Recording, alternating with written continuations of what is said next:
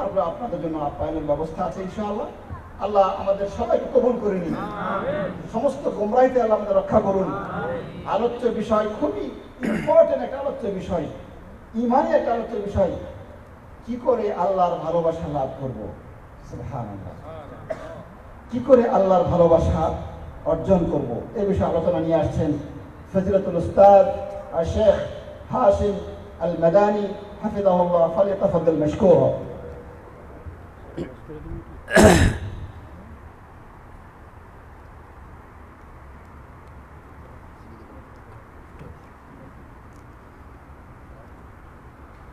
السلام عليكم ورحمة الله وبركاته. الحمد لله. الحمد لله نحمده ونستعينه ونستغفره ونعوذ بالله من شرور أنفسنا. ومن سيئات أعمالنا من يهده الله فلا مضل له ومن يدلله فلا هادي له وأشهد أن لا إله إلا الله وحده لا شريك له وأشهد أن محمدا عبده ورسوله أما بعد فإن خير الحديث كتاب الله وخير الهدي هدي محمد صلى الله عليه وسلم وشر الأمور محدثاتها وكل محدثة بدعة وكل بدعة ضلالة وكل ضلالة في النار.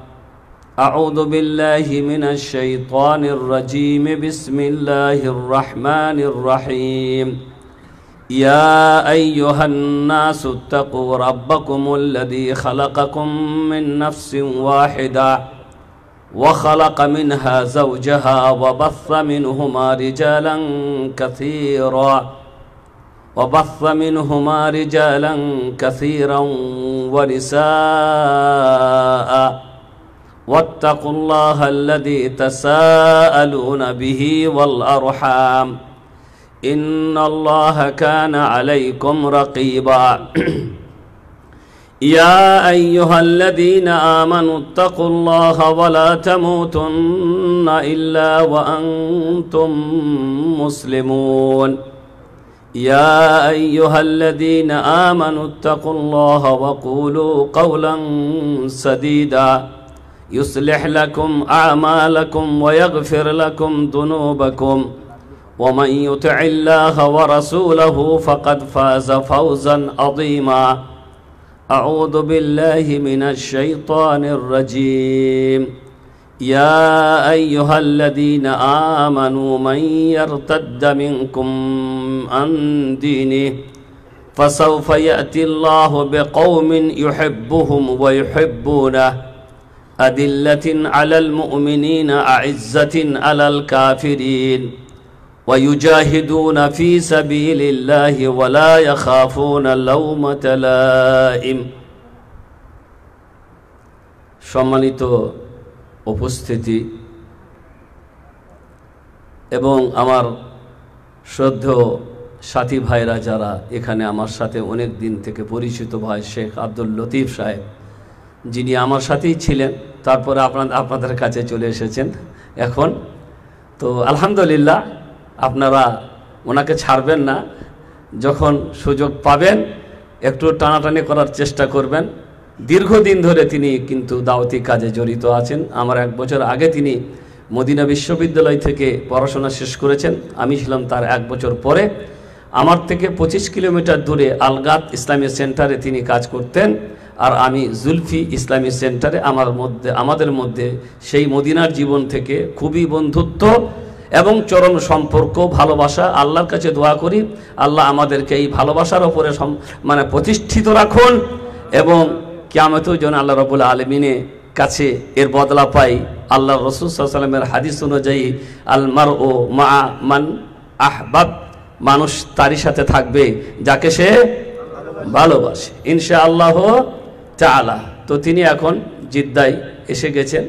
তো আশা করি আপনাদের জন্য এটা একটা ভালো খবর বা তিনি আশা করি সময় দিবেন। খুবই উনি মানে যাকে বলা হয় দাওতি কাজের জন্য উৎসাহী মানুষ।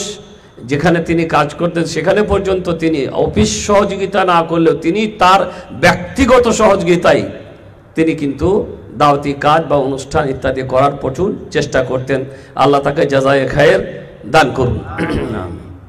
আমি যে বিষয়ে আলোচনা নিয়ে আপনাদের সাথে বা আপনাদের কাছে উপস্থিত হয়েছি, যা আপনারা শুনলেন যে আল্লাহর ভালোবাসা পাওয়ার উপায় কি? কি কাজ, কি করলে আল্লাহ আমাদেরকে ভালোবাসবেন? কোরআনের আয়াত পাঠ করলাম, আল্লাহ তালা বললেন, ইয়া আইয়ুহাল্লাযীনা আমানু মাইয়ারতাদ্দা মিনকুম আন দীনিহি। হে ইমানদারগণ তোমাদের মধ্যে যারা দিন থেকে ফিরে যাবে, তোমাদের মধ্যে যারা দিন থেকে ফিরে যাবে, অসুবিধে নাই, ফিরে যাও। ফাসাউফাইয়াতিল্লাহ আল্লাহ তাআলা এমন জাতিকে নিয়ে আসবেন বেকৌমিন এমন জাতিকে, তোমরা যদি দিন থেকে ফিরে যাও, কেউ যদি ইসলাম গ্রহণ না করো, কেউ যদি আল্লাহকে না মানো, এতে আল্লাহর কোনো সমস্যা আছে? আমরা যে কাজগুলি করি, নামাজ, রোজা হওয়া জাকাত এগুলোতে কি আল্লাহর কোনো বড় উপকার হয়? জি না। এটা করি আমরা আমাদের আমাদের লাভের জন্য। হাদিসে কুদসিতে আল্লাহ তালা নিজেই বলেছেন, হাদিসে কুদসি বলা হয় যেটা নবী করিম সাল্লাল্লাহু আলাইহি ওয়াসাল্লাম আল্লাহর পক্ষ থেকে সরাসরি বর্ণনা করে বলেন, আল্লাহ বলেছেন, আল্লাহ আল্লাহ বলেছেন যে তোমাদের সমস্ত মানুষ, তোমরা যত মানুষ আছো, তোমরা সবাই যদি দিন থেকে ফিরে যাও তাহলে তোমাদের দিন থেকে ফিরে যাওয়ার কারণে আমার রাজত্ব থেকে কোনো কিছুই ঘটবে না। আমার রাজত্ব যেমন আছে ওই রকমই ওই রকমই থাকবে। আর সবাই যদি আল্লাহ দিনদার হয়ে যাও, তাতেও কিন্তু আমার রাজত্বে কোনো কিছু বর্ধিত বা বৃদ্ধি সৃষ্টি করবে না কিছু পারবে না। ভালো তোমাদের জন্য আর মন্দ তোমাদের জন্য। ভালো হলে সেই ভালাই তোমার জন্য, মন্দ হলে সেই মন্দের প্রতিফল তোমাকেই তোমাকেই ফল ভোগ করতে হবে। তাই তোমরা যদি দিন থেকে ফিরে যাও, তাহলে আল্লাহ তাহলে এমন জাতিকে নিয়ে আসবেন, ইউহেব্বুহুম, যাদেরকে আল্লাহ ভালোবাসবেন, ওয়া ইউহেব্বুনাহুম, আর যারা আল্লাহকে ইউহেব্বুহুম, যাদেরকে আল্লাহ ভালোবাসবেন, আর ওয়া ইউহেব্বুনাহু, যারা আল্লাহকে ভালোবাসবেন। এরকম জাতির আল্লাহ কি করবেন? আবির্ভাব ঘটাবেন। দুনিয়াতে আল্লাহওয়ালা অবশ্যই আছেন। আল্লাহওয়ালা অবশ্যই আছেন। আল্লাহকে ভালোবাসে এমন সম্প্রদায় অবশ্যই আছে, যার কারণে দুনিয়া আজও আছে। কারণ মোহাম্মদ রাসুল্লাহ সাল্লাহ সাল্লাম বলেছেন, যখন আল্লাহর জমিনে আল্লাহ আল্লাহ বলার মতন একটা মানুষও থাকবে না, তখন কেমত প্রতিষ্ঠিত হয়ে যাবে। বুঝতে পারলেন? আল্লাহ নবী মোহাম্মদ সাল্লাম বলেছেন কেমত হওয়ার আগে কিছু মোমেন মানুষ থাকবে। আল্লাহ তালা একটা এমন হাওয়া প্রেরণ করবেন, সেই হাওয়ার মাধ্যমে সেই মোমেন মানুষগুলির যান কবদ হয়ে যাবে। তারাও চলে যাবেন, তারপরে শুধুমাত্র আল্লাহর জমিনে দুষ্ট পাপাচার ছাড়া কেউ থাকবে না। আর তখনই কেমত সংঘটিত হয়ে যাবে। আজও পর্যন্ত আল্লাহর দুনিয়াতে ভালো মানুষ আছে বলি, আল্লাহর দুনিয়া আল্লাহ রেখেছেন, এখন আল্লাহ রাবুল আলমিন কেমত কায়েম কেমত কায়েম করেননি। ভালো মানুষ আছেন। আর ওই ভালো মানুষগুলা হচ্ছে বর, আর খারাপ গোলা যে বেঁচে আছে, ওরা হচ্ছে বর যাত্রী বুঝতে পারলেন? বর আর বর যাত্রী এই যে কাফেররা দুনিয়াতে কত বহাল তবিয়তে আছে। তারাই বলতে পারা যায় যে বিশ্বের ধনী দেশগুলি যেন ওরাই সব থেকে বেশি। তারাই যেন ভালো আছে, তারাই যেন সুখী আছে, তারাই যেন, এটা আমরা ভাবি। কিন্তু আসল সুখ তারাও কোনোদিন তার স্বাদ গ্রহণ করে না। বিবি আর সাথে যায়, স্বামী আর সাথে যায়। কেন? এ ফ্রি দেশ এখানে কিছু বলার নাই। বিবি স্বাধীনতার সাথে চলবে স্বামীও স্বাধীনতার সাথে চলবে। স্ত্রী কোনোদিন স্বামীকে আদর করে এক কাপ চা করে দেয় না, আর স্বামী কোনোদিন স্ত্রীর কাছে ওই ভালোবাসা পায় না, যে ভালোবাসা পাওয়ার কথা বলে গেছেন মোহাম্মদুর রাসুল্লাহ সাল্লাহ সাল্লাম। ভাই, সুখ শান্তি বাজারে বিক্রি হয় না। বুঝতে পারলেন? স্বামী, স্ত্রী, সন্তানদেরকে নিয়ে বাজারের, বাড়ির মধ্যে একটা যে আনন্দ ইমান থাকলে, ইসলাম থাকলে, পরিবেশ সুন্দর হলে এই আনন্দ বাজারে কিনতে পাওয়া জীবন তো চলে। ঠেলা গাড়ির মতন জীবন চলতেই থাকে। এমন স্ত্রী আমাদের অনেকেরই আছে যে তাদের মেন নাই, মহব্বত নেই। তারা এইভাবেই জীবন কাটাচ্ছে, কি করবে? ছেলে মিলে হয়ে গেছে। কিন্তু বাড়িটাতে কি অবস্থা দিয়ে তাদের অতিবাহিত হচ্ছে, এটা সেই জানে। আমরা হয়তো তার চিকচাক পোশাক দেখে মনে করি, তাই পরে অফিসে যাচ্ছে। আহ, কতই না সুখে আছে। কিন্তু তাকে জিজ্ঞাসা করুন যে সুখ কাকে বলে সে কোনোদিন জানে না। সন্ধে বলা টাই পরা অবস্থায় বাড়ি ফিরে এসলে স্ত্রী তার মুখের দিকেও তাকিয়ে দেখে না, কারণ সেও অনেক বড় লোকের বিটি। বুঝতে পারলেন? পাশ্চাত্যের সভ্যতায় মানুষ হওয়া বিটি। তার কাছ থেকে আপনি সেটা পেতে সেটা পেতে পারেন না।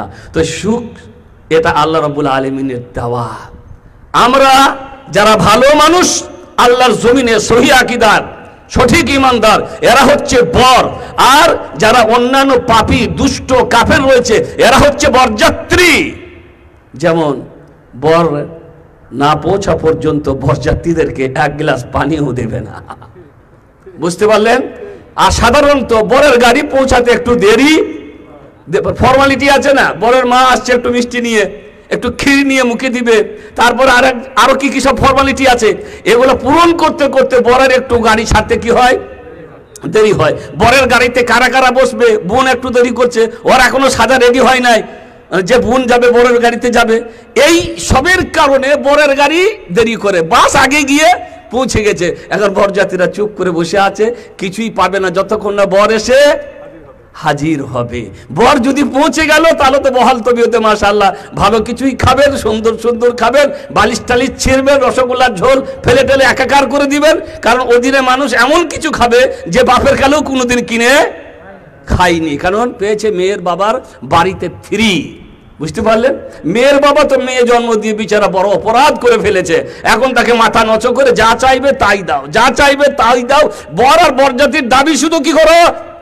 পূরণ করো সেখানে বরযাত্রী যারা, তাদের আবার টেম্পার কত হয়। একটু কিছু কথা বললে রেগে উঠে যাবে। আবার তাকে মানাবার জন্য মায়ের পক্ষের লোকেরা অনুরোধ করবেন ভাই, ভুল হয়েছে, ভাই, ভুল হয়েছে, ভাই, ভুল হয়েছে, ভাই। এই হচ্ছে আমাদের পরিবেশ। তো মোট কথা যদি বর না আসে, তাহলে কি হবে বলুন তো? পাবে না শুধু না? আপনাদেরকে বেঁধে রাখবে, ছাড়বে না। ততক্ষণ পর্যন্ত যতক্ষণ না আগে খরচপাতিগুলো আদায় না করে বলে এই লোকগুলাকে নিয়ে যা, খরচগুলো আগে দিয়ে যা। বহার এলো না মনে করলেন কোনো কারণে? মনোমালিন্য হয়ে গেছে, তাদের মতভেদ হয়ে গেছে। না, এখানে বিয়ে করা যাবে না। এদিকে বর পৌঁছে গেছে। তখন আপনাদেরকেও ছাড়বে না। সব আদায় করে গ্রামবাসীগণ বেঁধে রাখবে, আটকে রাখবে। এই হচ্ছে বর আর বরযাত্রীদের সম্পর্কে ঠিক ওই রকমই। মানুষ যারা ভালো দুনিয়াতে আছেন, তাদের জন্য আল্লাহ বৃষ্টি বর্ষণ করেন। তাদের জন্য আল্লাহর এই জমিনে সবকিছু নিয়ন্ত্রিত হচ্ছে। সূর্য টাইমে উঠছে টাইমে ডুবছে। আল্লাহ কর্তৃক সারা সার্বভৌমত্ব নিয়ন্ত্রিত হচ্ছে শুধু এই ভালো মানুষগুলির কারণে। আর অন্যান্য দুষ্ট পাপীরা যারা হচ্ছে, এই ভালো মানুষগুলির কারণে তারাও এই সুখটা ভোগ করছে। বৃষ্টি বাদল, আল্লাহ তো আর বিশেষ করে মোমিনদের বাড়িতে পাঠাবে না। বলুন সবারই বাড়িতেই সবারই জন্য হবে, আল্লাহর হাওয়া, আল্লাহর বৃষ্টি এবং আল্লাহ কর্তৃক নিয়ামত, যা কিছু আল্লাহ দেন, তা সবারই জন্য আর কি। এখানে কোনো পার্থক্য নেই। ওই জন্য এই আল্লাহর জমিন প্রতিষ্ঠিত আছে, আল্লাহর নিয়ম চলতে আছে এখনও পর্যন্ত, পৃথিবীর নিয়ম, আকাশের নিয়ম এবং তার চান চান সূর্য ইত্যাদির নিয়ম সব কিছু যে নিয়মিত চলতে আছে, শুধু ওই ভালো মানুষগুলোর কারণে। যেদিন এই মালো মানুষগুলো শেষ হয়ে যাবে, কিছু লোক থেকে যাবে, আল্লাহর এক হাওয়া প্রেরণ করবেন, সেই হাওয়া দিয়ে তারাও চলে যাবে। দুষ্ট পাপাচার, কাফের ছাড়া আর কেউ থাকবে না। তখন আল্লাহ রবুল্লা আলমিন বলবেন, এবার শুরু হয়ে যাও পশ্চিম থেকে সূর্য, তুমি কালকে পশ্চিম থেকে উঠবে। আর দরকার? পূর্ব থেকে উঠছিলে এতদিন পর্যন্ত আমার নির্দেশে। কালকে পশ্চিম দিকে উঠবে, কালকে পশ্চিম দিক থেকে উঠবে। যখন মানুষ দেখে নিয়ে পশ্চিম দিক থেকে ওঠা সূর্য, তখন পাপি কাফেররা মাথা ঠুকে আল্লাহর কাছে তৌবা করবে, কিন্তু তখন তৌবা আর কবুল আর কবুল হবে না, কারণ আল্লাহ তাআলা তবে কবুল হওয়ার সীমা বেঁধে দিয়েছেন। তার মধ্যে একটা হচ্ছে, সীমা সূর্য যখন পশ্চিম দিক থেকে উঠবে, তখন আর তৌবা কবুল হবে না। মানুষ যখন মৃত্যু সাহিত্য অবস্থায়, তার কন আত্মা যখন কণ্ঠনালীতে এসে যাবে, ওই সময় যদি সে আল্লাহর কাছে তোবা করে, তার তোবা কবুল হবে না। যেমন তোবা করেছিল ফেরাউন, ফেরাউনের তোবা কবুল হয়নি ডুবতে যখন লেগেছিল, তখন সে বুঝতে পেরেছিল, আসল আল্লাহ আমাকে ধরেছে। বুঝতে সে পেরেছিল, সে তো জানতে যে আমি মানুষের সাথে প্রতারণা করছি। আসলে যে আমি আল্লাহ রয় আসলে যে আমি রব নই, এক সর্বশক্তিমান এমন আল্লাহ তো রয়েছেন, যিনি সব কিছু নিয়ন্ত্রণ করছে, তা তো সে তো জানতো। কিন্তু মানুষের সাথে প্রতারণা করত।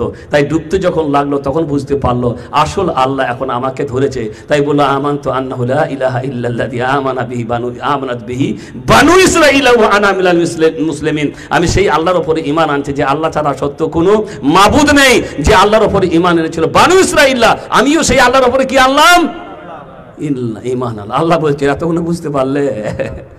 এই ইমান আনা তোমার কোনো কাজে আসবে না। তবে আমি একটা কাজ করব, তোমার বডিটা কিন্তু দুনিয়াবাসীদের জন্য রেখে দিব, তাদের শিক্ষার জন্য। তাই আল্লাহ রবুল আলমিন ওই ওর লাশটা বলা হয়েছে বৈজ্ঞানিক তত্ত্বে প্রায় তিন হাজার বছর পরে সমুদ্র তাকে বাইরে ফেলে দিয়েছিল।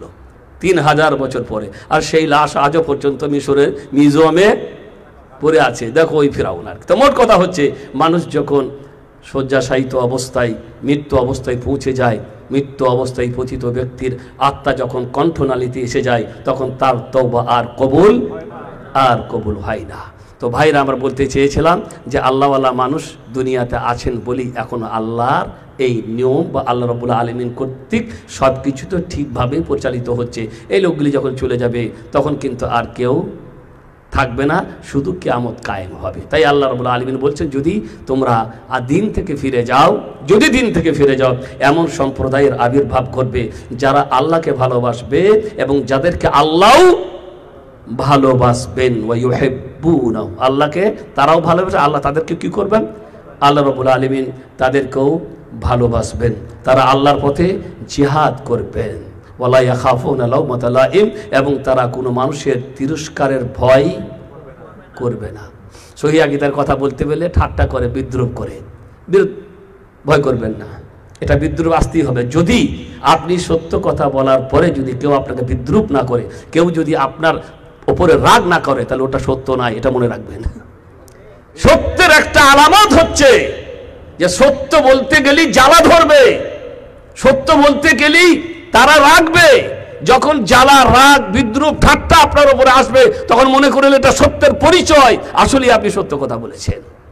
বুঝতে পারলেন? সত্য মানুষের বরদশ হয় না। বুঝতে পারলেন? একজন খতিব সাহেব খোদবাদ দিচ্ছেন, খোদবাদ দিতে দিতে সুদ খোরদের বিরুদ্ধে দারুণ বলা বলে দিয়েছে। আর গ্রামের বড় বড় ধনীরা, বুঝতে পারলেন? সুদ কররা এত জ্বালা বলে কাল থেকে আর পালি বন্ধ।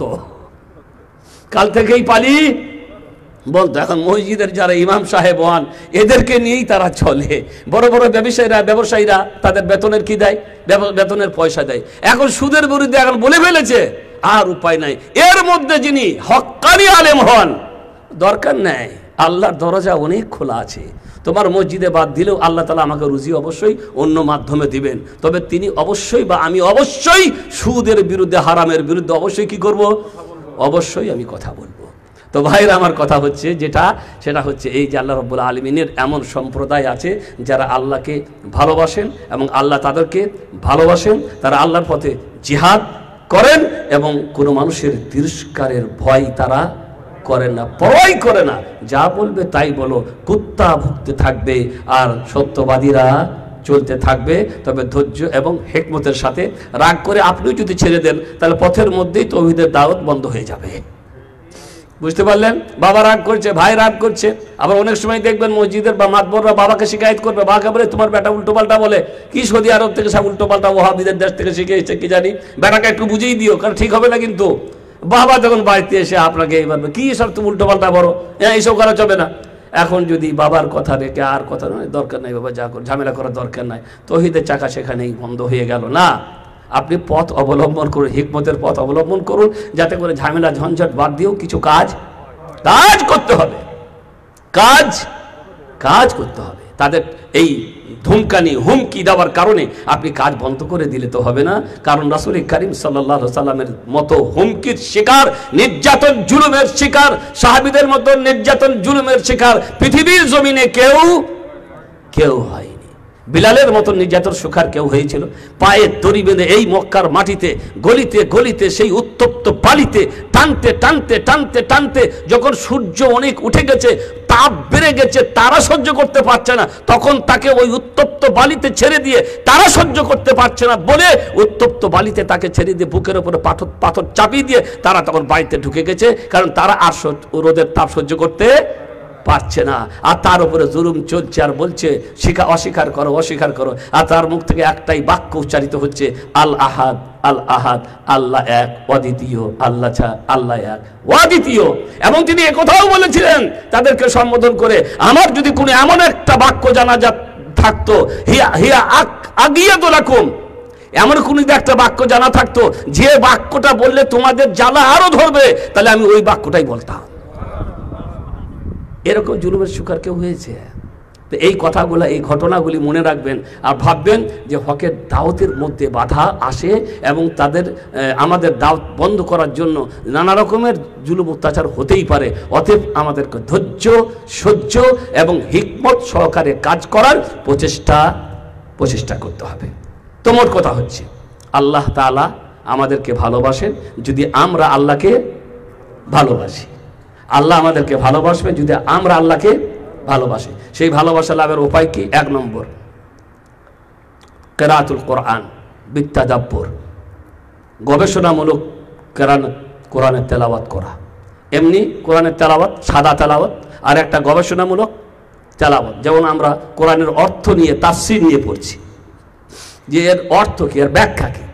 একটা হচ্ছে এমনি পর আলিফলাম দালিকাল কিতাব লা রাইবা সব পাওয়া যাবে না যাবে না? পাওয়া যাবে। বলেছেন কিতাবিল্লাহ ফালাহু হাসানাতুন যদি কেউ আল্লাহর কিতাবের একটি অক্ষর পড়ে, তাতে নেকি আছে, আর সেই নেকিটা বর্ধিত করে আল্লাহ রাব্বুল আলামিন দশটা করে দান করবেন। মোট কথা বুঝতে পারলাম, কোরআনের প্রত্যেকটি অক্ষরে কটা করে নেকি আছে?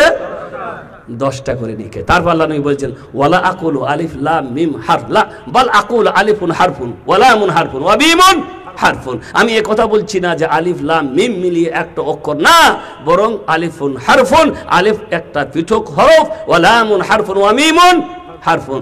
তিনটা হচ্ছে পৃথক, পথক, পৃথক পৃথক অক্ষর। অতএব যে বলল আলিফ লাম মিম, তার নেকির খাতায় লেখা হয়ে গেল তিরিশটা তিরিশটা নেকি। এটা হচ্ছে সাধারণ পড়া আপনি তর্জমা ছাড়াই মতন পড়লে আর একটা গবেষণামূলক পড়া। কারণ যখন মানুষ গবেষণামূলকভাবে পড়বে, তখন আল্লাহর কুদরত এবং আল্লাহ রবুল আলমীকে আরও ভালো করে জানতে পারবে। কে তিনি? বিভিন্ন আয়াতে তার পরিচয় আছে। বিভিন্ন আয়াতে তার কুদরতের কথা, বিভিন্ন আয়াতে তার শক্তির কথা। বিভিন্নভাবে আপনি পড়বে যখন, তখন। আফালাইয়ান দরুনা ইলাল ইবিলি কাইফা খুলেকা? ওয়া ইলাল সামাই কাইফা রুফিআত? ওয়া ইলাল জিবালে কাইফা নুসিবাত? ওয়া ইলাল আরদে কাইফা সতিহাত। আল্লাহ নিজেই বলছেন গবেষণা করার জন্য। আফালা ইয়াতাদাব্বারুনাল কোরআন আম আলা কুলুবিন আকফালুহা? মানুষ কি কোরআন নিয়ে গবেষণা করে না, নাকি তাদের অন্তরে তালা লেগে গেছে? আল্লাহ দাওয়াত দিচ্ছেন। শুধু কোরআন পড়ো সব দেবো আমি, আল্লাহ। কিন্তু কোরআনকে গবেষণামূলক ধরে পড়ো। তাহলে আমাকে আরও তোমরা ভালো করে কি করতে পারবে? জানতে পারবে, চিনতে পারবে। আর যখন তোমরা আমাকে আরও ভালো করে জানতে, চিনতে পারবে, তখন আমার প্রতি আরও গাঢ় ভালোবাসা সৃষ্টি হবে। আমার কোনো নির্দেশকে তোমরা ছাপা ছাড়বে না। সমস্ত নির্দেশকে পালন করবে। আর যখন তোমরা আমার সমস্ত নির্দেশকে পালন করবে অটোমেটিক আমি আল্লাহ তোমাদের কি করব? ভালোবাসবো। তো রাসুল করিম সাল্লাহ আলী আল্লাহ তালাই কোরআনে আমাদেরকে বলেছেন বারবার করে যে মানুষ কোরআন কি পড়ে না, ওদের কি অন্তরে তালা লেগে গেছে ধরুন ইলাল এবিলে গাইফা খোলে খাত ওরা কি দেখেন আমি আল্লাহ এই- উঠকে কেমন করে সৃষ্টি করেছি? একটা সাধারণ উট, এত শক্তিশালী উট। মরুভূমির জাহাজ, দু মাস চলে যাবে পানির দরকার নাই, তার একটা পানি এক্সট্রা ট্যাঙ্ক বানিয়ে দিয়েছেন আল্লাহ, সেখানে সে তার ওই পানি এক্সট্রা পানি ভরে নেবেন। আমরা জানি না, কুদরতি নিদান দিয়ে আল্লাহ বানিয়ে দিয়েছেন। আপনার পানির দরকার, আপনি উঠে যখন সফর করবে, তখনকার মানুষ ছিল, তখন জাহাজ ছিল না ট্রেন ছিল না বাস ছিল না, এবং আপনার বর্তমানের জন্য, বর্তমানের মতো ট্যাক্সি অমুক তমুক কোনো গাড়ি ছিল না, তাদের সফরের একটাই ব্যবস্থা ছিল, হয় উঠে যাবে, না হয় ঘোড়ায় যাবে, না হয় গাধায় যাবে, আর না হয় খচ্ছরে যাবে। আর এরই ওপরে শহর সফর করেছিলেন আমাদের নবী, প্রিয় নবী, বিশ্ব মানবতার শ্রেষ্ঠ মানুষ মোহাম্মদ রাসূলুল্লাহ সাল্লাহ সাল্লাম, সমস্ত পৃথিবীর মুসলিমদের প্রেসিডেন্ট মোহাম্মদ রাসূলুল্লাহ সাল্লাহ সাল্লাম। তার কোনো গর্ব ছিল না, তার কোনো অহংকার ছিল না। তিনি উটের উপরে শহর করতেন, আবার কখনো ঘোড়ার উপরে শহর করতেন, কখনো গাধার উপরে, আবার কখনো খচ আর গাধা দেখে চাপে বলুন তো। গাধাতে গাধারাই চাপে। এখন মনে করলে বর্তমান যুগে গাধা দেখতে পাওয়া যায় না, খুব কম। এই মরুভূমিতে যে বাদুরা ছাগল পালে না, ওই ছাগলের বাগালের কাছে একটা গাধা থাকে। কারণ বিচারা কত হাঁটবে ছাগলগুলাকে নিয়ে? অনেক বড় ময়দান যাবে ও। ওই জন্য ওকে একটা গাধা দিয়েছে, ওই গাধার উপরে চেপে ওই ছাগলগুলাকে নিয়ে ও ও সামনে যাচ্ছে আর ছাগলগুলা পিছনে পিছনে আসবে। ও সামনে যাবে। আর ছাগলগুলি পিছনে পিছনে অভ্যস্ত হয়ে গেছে আর কি। এই মরুভূমিতে দেখতে পাওয়া যায়, ছাগলের বাগালের কাছে একটা করে গাধা থাকে। ওই গাধার ওপরে আরোহণ করেছেন, চেপেছেন সওয়ারি হিসাবে। আমাদের প্রিয় নবী মোহাম্মদ রাসূলুল্লাহ সাল্লাহ সাল্লাম, কেন? তিনি বলতেছেন, আমি নবী, আমি একজন সাধারণ মানুষ। আমি গাধাতেও চাপি, আমি ঘোড়াতেও চাপি, আমি খচ্চরেও চাপি, আমি উঠেও চাপি। আমার মধ্যে কোনো গর্ব নাই, কোনো অহংকার নাই। আমি আল্লাহর একজন বান্দা সাধারণ একজন মানুষ হিসাবে যেমন করে দুনিয়াতে চলতে হয়, ওইভাবে আমি চলাফেরা করি। আমি মোহাম্মদ আল্লাহর বান্দা, সাধারণ মানুষ। তোমাদের মতনই আমার কোনো গর্ব এই হচ্ছে। আর আল্লাহ তাআলা কোরআনে একটা আয়াতে আল্লাহ নবীকে বলেছিলেন, নবী, তুমি গাধাই চাপো, তুমি খচ্চরে চাপো, তুমি উঠিয়ে চাপো। আর অদূর ভবিষ্যতে এমন জিনিস আমি আল্লাহ আবিষ্কার করে দিব যা তুমি কিন্তু এখন তা আমরা বর্তমানে দেখতে পাচ্ছি।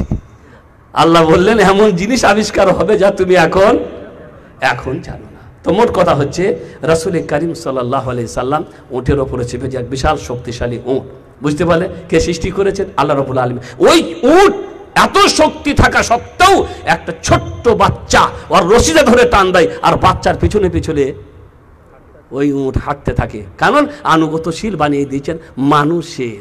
মানুষের সমস্ত কিছুকে আল্লাহ রবুল্লা আলমিন আনুগতশীল বানিয়ে দিয়েছে। কার? হাতি চলে, মানুষের পিছনে পিছনে, উঁট চলে, মানুষের পিছনে পিছনে। তুমি চেষ্টা, চিন্তা করো, এত বড় উঁট আমি আল্লাহ কেমন করে সৃষ্টি করলাম? ওয়া ইলাল সামা একাই ফরফিয়াত এই খুঁটি ছাড়াই বেগাইরে আমাদিন তারাও না কোনো খুঁটি নেই।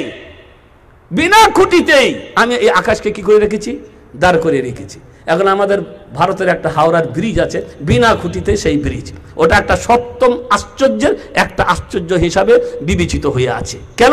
কারণ হাওড়া ব্রিজ যেটা, অনেক লম্বা, অনেক বড় ব্রিজ, এই ব্রিজের নিচে কোনো খুঁটি খাম্বা নেই। অথচ যখন ওপরে দেখবেন, এত বিশাল বিশাল খাম্বা লাগিয়েছে, ওই খাম্বার ভারী পড়ে যাওয়ার কথা।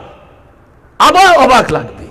বিশাল বিশাল খুঁটি খাম্বা লাগিয়ে দিয়েছে ওপরে, কিন্তু নিচে যে ওকে সাপোর্ট করবে, এখন এই বাড়িগুলো যখন তৈরি করছে, বলেন, নিচে কত ফাউন্ডেশন যারা করেছে তারা, কত রড কত কি, যত তালা হবে তত সেই হিসাবে ইঞ্জিনিয়ারিং ভিত্তিতে তার ফাউন্ডেশন হচ্ছে। ইঞ্জিনিয়ারিং ভিত্তিতে কি হচ্ছে? ফাউন্ডেশন হচ্ছে। কত শক্তি কত খুঁটি আর কত খাম্বা দিয়ে, একটুকু যদি কোথাও খাম্বা খুঁটি নষ্ট হয়ে যায়, সেই বাড়ি আমাদের জন্য আর বাসযোগ্য থাকে না। অথচ হাওড়ার ব্রিজের নিচে কোনো খুঁটি খাম্বা নেই। ব্রিটিশ সরকারের আমলে যে তৈরি করেছিল, আমরা শুনেছি, সত্যমিতা ভালোই জানি না যে একটাই শুধু বট মানে নাট আছে, একটাই, স্ক্রু নাট, ওই একটা নাট যদি খুলে দেওয়া হয়, গোটা ব্রিজটা পড়ে যাবে। এটা শুধু সেই জানে যে ওই ব্রিজ তৈরি করেছে। তাই ব্রিটিশ সরকার তার হাত পা কেটে দিয়েছিল, যাতে করে কোনোদিন রেগে যেন এই কাজটা সে করে না দেয়। তারপরে তার পরিবারকে সরকারের টাকা দিয়ে লালন পালন করেছিল আর। তো মোট কথা হচ্ছে আল্লাহ রব্বুল আলমিন ওই একটা কেউ করেছে ওপরে খুঁটি দিয়ে, এটা হয়ে গেছে আশ্চর্যের একটা আশ্চর্য। মহান আল্লাহ রব্বুল আলমী এত বিশাল আসমানকে বিনা খুঁটিতে দাঁড় করিয়ে রেখেছে। আল্লাহ বলছে, তোমরা দেখো, তোমরা তাকাও, তাহলে জানতে পারবে যে আমি আল্লাহ কত শক্তি। আগে বেগাইরে আমাদিন তারাও নাহা তোমরা আসমানকে, আসমানের নিচে কোনো খুঁটি দেখতে পাবে না। আর শুধু একটা আসমান নয়, বরং এক, দুই, তিন, চার, পাঁচ, ছয়, সাত সপ্তম আসমান। একটা আসমান থেকে আর একটা আসমান পর্যন্ত আমাদের নবী বলেছেন, আমাদের নবী বলেছেন মোহাম্মদ রসুল্লাহ সাল্লাহ সাল্লাম এক আসমান থেকে আর এক আর এক আসমান- পর্যন্ত পাঁচশো বছরের পথ। কত বছরের? বর্তমানে যে আকাশ দেখতে পাই, বুঝতে পারলেন? এটাকে দুনিয়া বলা হয় আর কি। আসামা ও দুনিয়া। আসামা ও আর দুনিয়া মানে নিকটের আসমান। তা নিকটের আসমান মানে কি আমরা দেখেছি? আমরা আকাশের নিচে বাদল দেখি, আকাশের নিচে গ্রহ তারা, এগুলা আকাশ এখনও পর্যন্ত কোনো বৈজ্ঞানিক স্পর্শ করতে পারেনি। আল্লাহর আকাশ পর্যন্ত কেউ এখনও যেতে পারেনি। এক আকাশ- থেকে নিয়ে আর আকাশ পর্যন্ত পাঁচশো বছরের পথ কথা বলে গেলেন মোহাম্মদ রাসূলুল্লাহ। সাল্লাহ আলী সাল্লাম আল্লাহ তালা আমাদেরকে দাওয়াত দিয়ে বলছেন, তোমরা চিন্তা গবেষণা করে দেখো, আমি বিনা খুঁটি খাম্বায় এই আসমানকে কি করে রেখেছি? দাঁড় করে রেখেছি। ওয়া ইলাল জিবালে কাইফা নসেবাত, পাহাড়গুলাকে দেখো, জমিনটা তোমাদের বাসযোগ্য ছিল না। জমিনটা বাসযোগ্য ছিল না, নড়াচড়া করছিল এই জমিন। আমি পাহাড় দিয়ে, বিশাল বিশাল পাহাড় দিয়ে এই জমির মধ্যে ঠুকে দিয়ে একে শক্তিশালী বানিয়ে দিলাম, যাতে করে তোমাদের জন্য বাসযোগ্য হয়, নড়াচড়া না করে। এটা আমি আল্লাহ করেছি।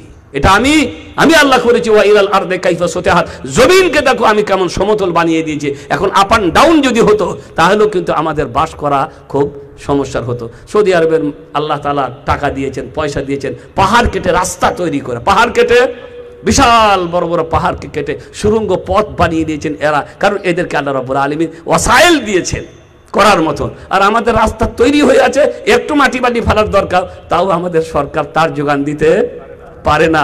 আবার যদি কিছু দিচ্ছে, ওটা নেতাদের প্যাকেটেই থেকে যাচ্ছে। ওটা আর বার হয়ে আসছে না। তো যাই হোক, মোট কথা হচ্ছে আল্লাহ রাবুল আলমিন বলছেন, এই জমিন যদি আপ অ্যান্ড ডাউন হতো তাহলেও কিন্তু তোমাদের জন্য বাসযোগ্য হতো না। আমি আল্লাহ কি করেছি? সমতল ভূমি বানিয়ে দিয়েছি। এগুলোর ব্যাপারে তোমরা গবেষণা করো, তাহলে আমাকে তোমরা চিনতে পারবে। আর যদি আমাকে চিনতে পারো অটোমেটিক তখন তোমাদের ভালোবাসা আমাদের, আমার প্রতি বাড়বে। আমাকে যখন ভালোবাসবে, আমি অবশ্যই তোমাদের কি করব? ভালোবাসবো। এটা ছিল এর এই পয়েন্টটা আরও অনেক কিছুও যা বলতে গেলে আর অন্য পয়েন্টগুলো বাদ পড়ে যাবে যে প্রথমত কোরআনের তেলাওয়াত করতে হবে। আল্লাহর ভালোবাসা আল্লাহর ভালোবাসা পেতে হলে কোরআনের তেলাওয়াত। আর কোরআনের তেলাওয়াতের মধ্যে আল্লাহ রবুল্লা আলমিনের গুণাবলী, আল্লাহ রবুল্লা আলমিনের মানে অনেক নাম, গুণ সব উল্লেখ হয়ে আছে এবং সব কিছু তিনি সেখানে বর্ণনা করেছেন। আল্লাহর পরিচয় বা তার পরিচয়ের ব্যাপারে আমরা জানতে পারি দুই নম্বরে আসেন যে আল্লাহর ভালোবাসা পাওয়ার উপর নওয়াফিল নফল কাজের মাধ্যমে আল্লাহর নৈকট্য লাভ করা। নফল কাজ। ফরজ কাজ তো করতেই হবে, এটা কোনো বাহাদুরি নয়। মনে রাখবেন। ফরজ নামাজ আদায় করাতে কোনো বাহাদুরি নেই, এটা তো ফরজ। ফরজ জাকাত আদায় করাতে কোনো বাহাদুরি নেই, এটা তো ফরজ। নফল জাকাত মানে জাকাত আদায় করে দিয়েছেন আপনার, টাকার জাকাত দিয়ে দিয়েছেন। ধানের ওষুধ দিয়ে আমাদের যেমন চাষারা ধান করে, ধানের কি দেন? ধানের ওষুধ দেন, কুড়ি মনে এক মন। দিয়ে দিয়েছেন। এখন আর নেই আপনার, জাকাতের টাকা পরিশোধ করে দিয়েছেন আপনি, দিয়ে দিয়েছেন যেটা ছিল।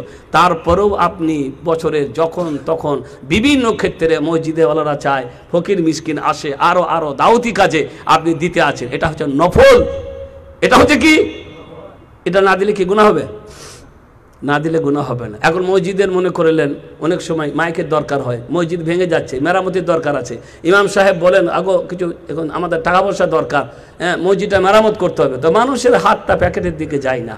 বলব না বলব না বলকে চিন্তা করে। ওয়াদা করুন, কিছু কিছু ওয়াদা করুন। তো কেউ করে কেউ করে না, কেউ দ্বিধাদ্বন্দ্বায় ভোগে। কেউ বলে, বাড়িতে যাই, বিবি কাকে জিজ্ঞাসা করি কেন? আবার মার খেতে হবে, ওখানে গিয়ে আবার।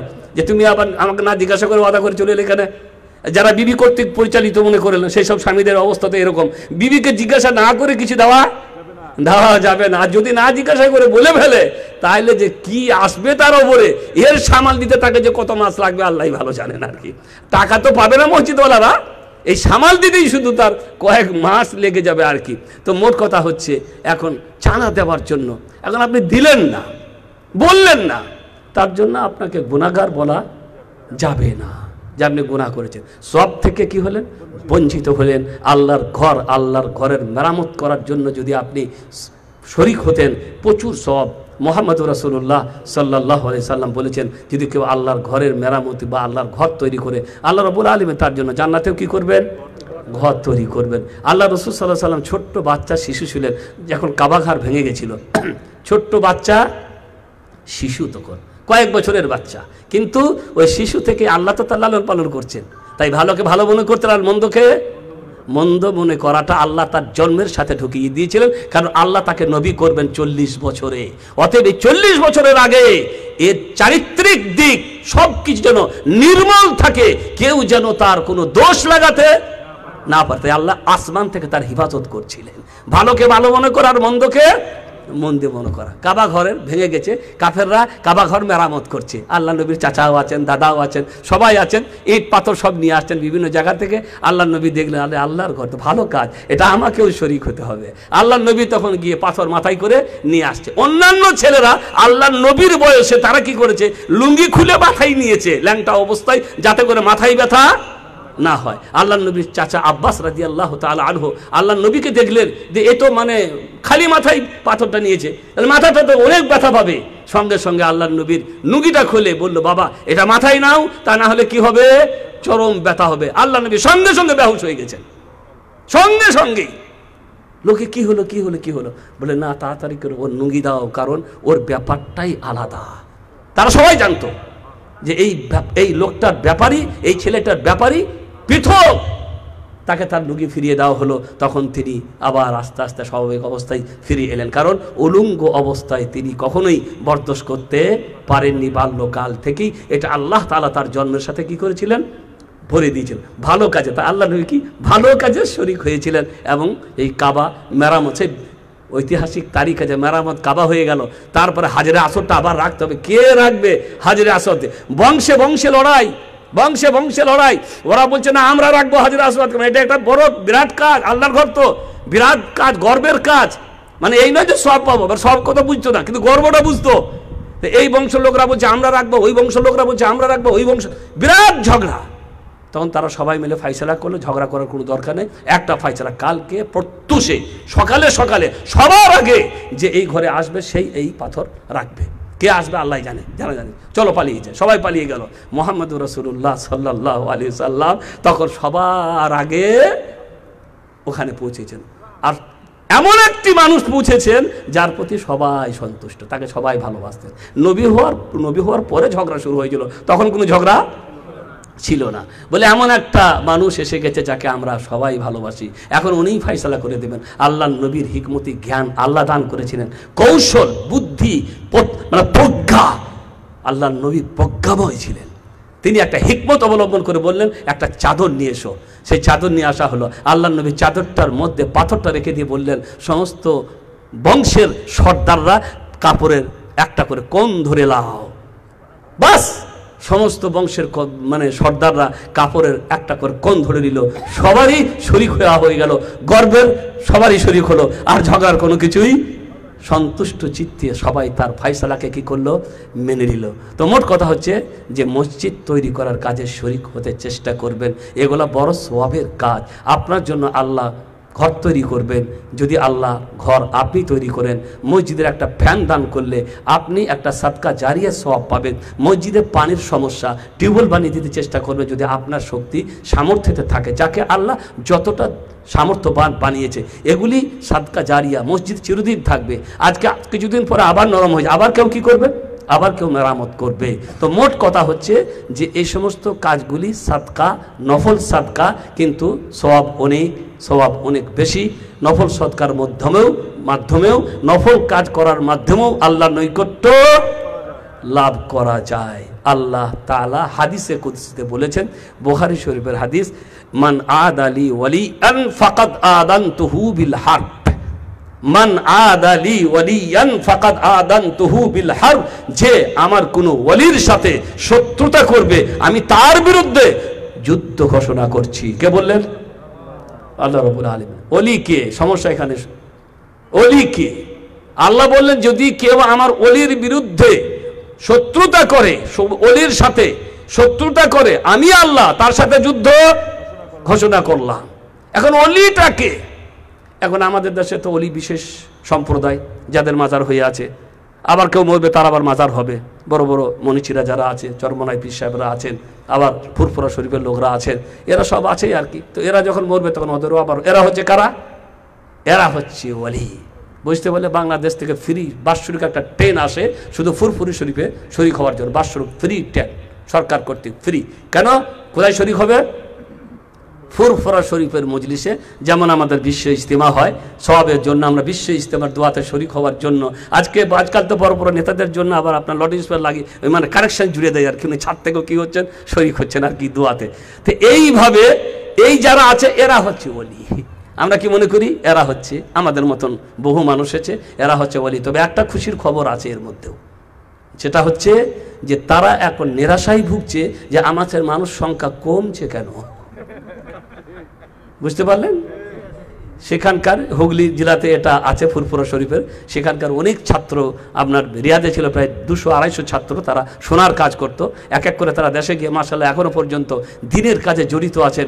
তারা বলছেন যে এখন ময়দান ফাঁকা থাকে, ময়দান ফাঁকা থাকে, অথচ সেই ময়দান পুরো হয়ে রাস্তা ঘাট বন্ধ হয়ে যায় তাকে সামাল দিতে ট্রাফিক পুলিশ একেবারে ব্যতিব্যস্ত হয়ে থাকতো আর কি।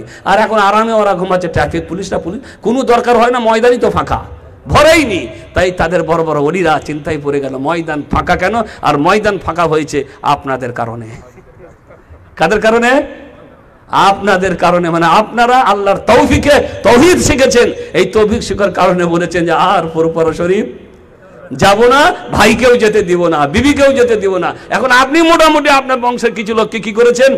ক্যাপচার করেছেন। এইভাবে আল্লাহর দিন আসলে প্রচার প্রসারিত হয়। তো মোট কথা হচ্ছে যে এই দিনের তহিদের কারণ দিনই তালিবের কারণে, এখান থেকে বিদেশ থেকে মানুষরা যাওয়ার কারণে, কিছু শিক্ষার কারণে তাদের মহফিল থেকে মানুষের সংখ্যা কি হচ্ছে?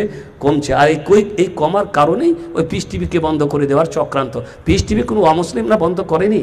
ভারতে আজও পিস টিভি চলছে। ভারত সরকার কর্তৃক আজও পর্যন্ত পিস টিভি বন্ধের ঘোষণা করা হয়নি। জাকির নায়কের উপরে মামলা হয়ে তিনি বাইরে আছেন। কিন্তু পিস টিভি পিস টিভি এখনও চলছে। কিন্তু শুধু সেখানে চলে না, যেখানে এই ফুরফুরাদের মতন লোকরা আছেন। তারা ওই মানে কেবল তার ইত্যাদি কেটে কেটে দিয়ে মানুষদেরকে হুমকি দিচ্ছে আর কি।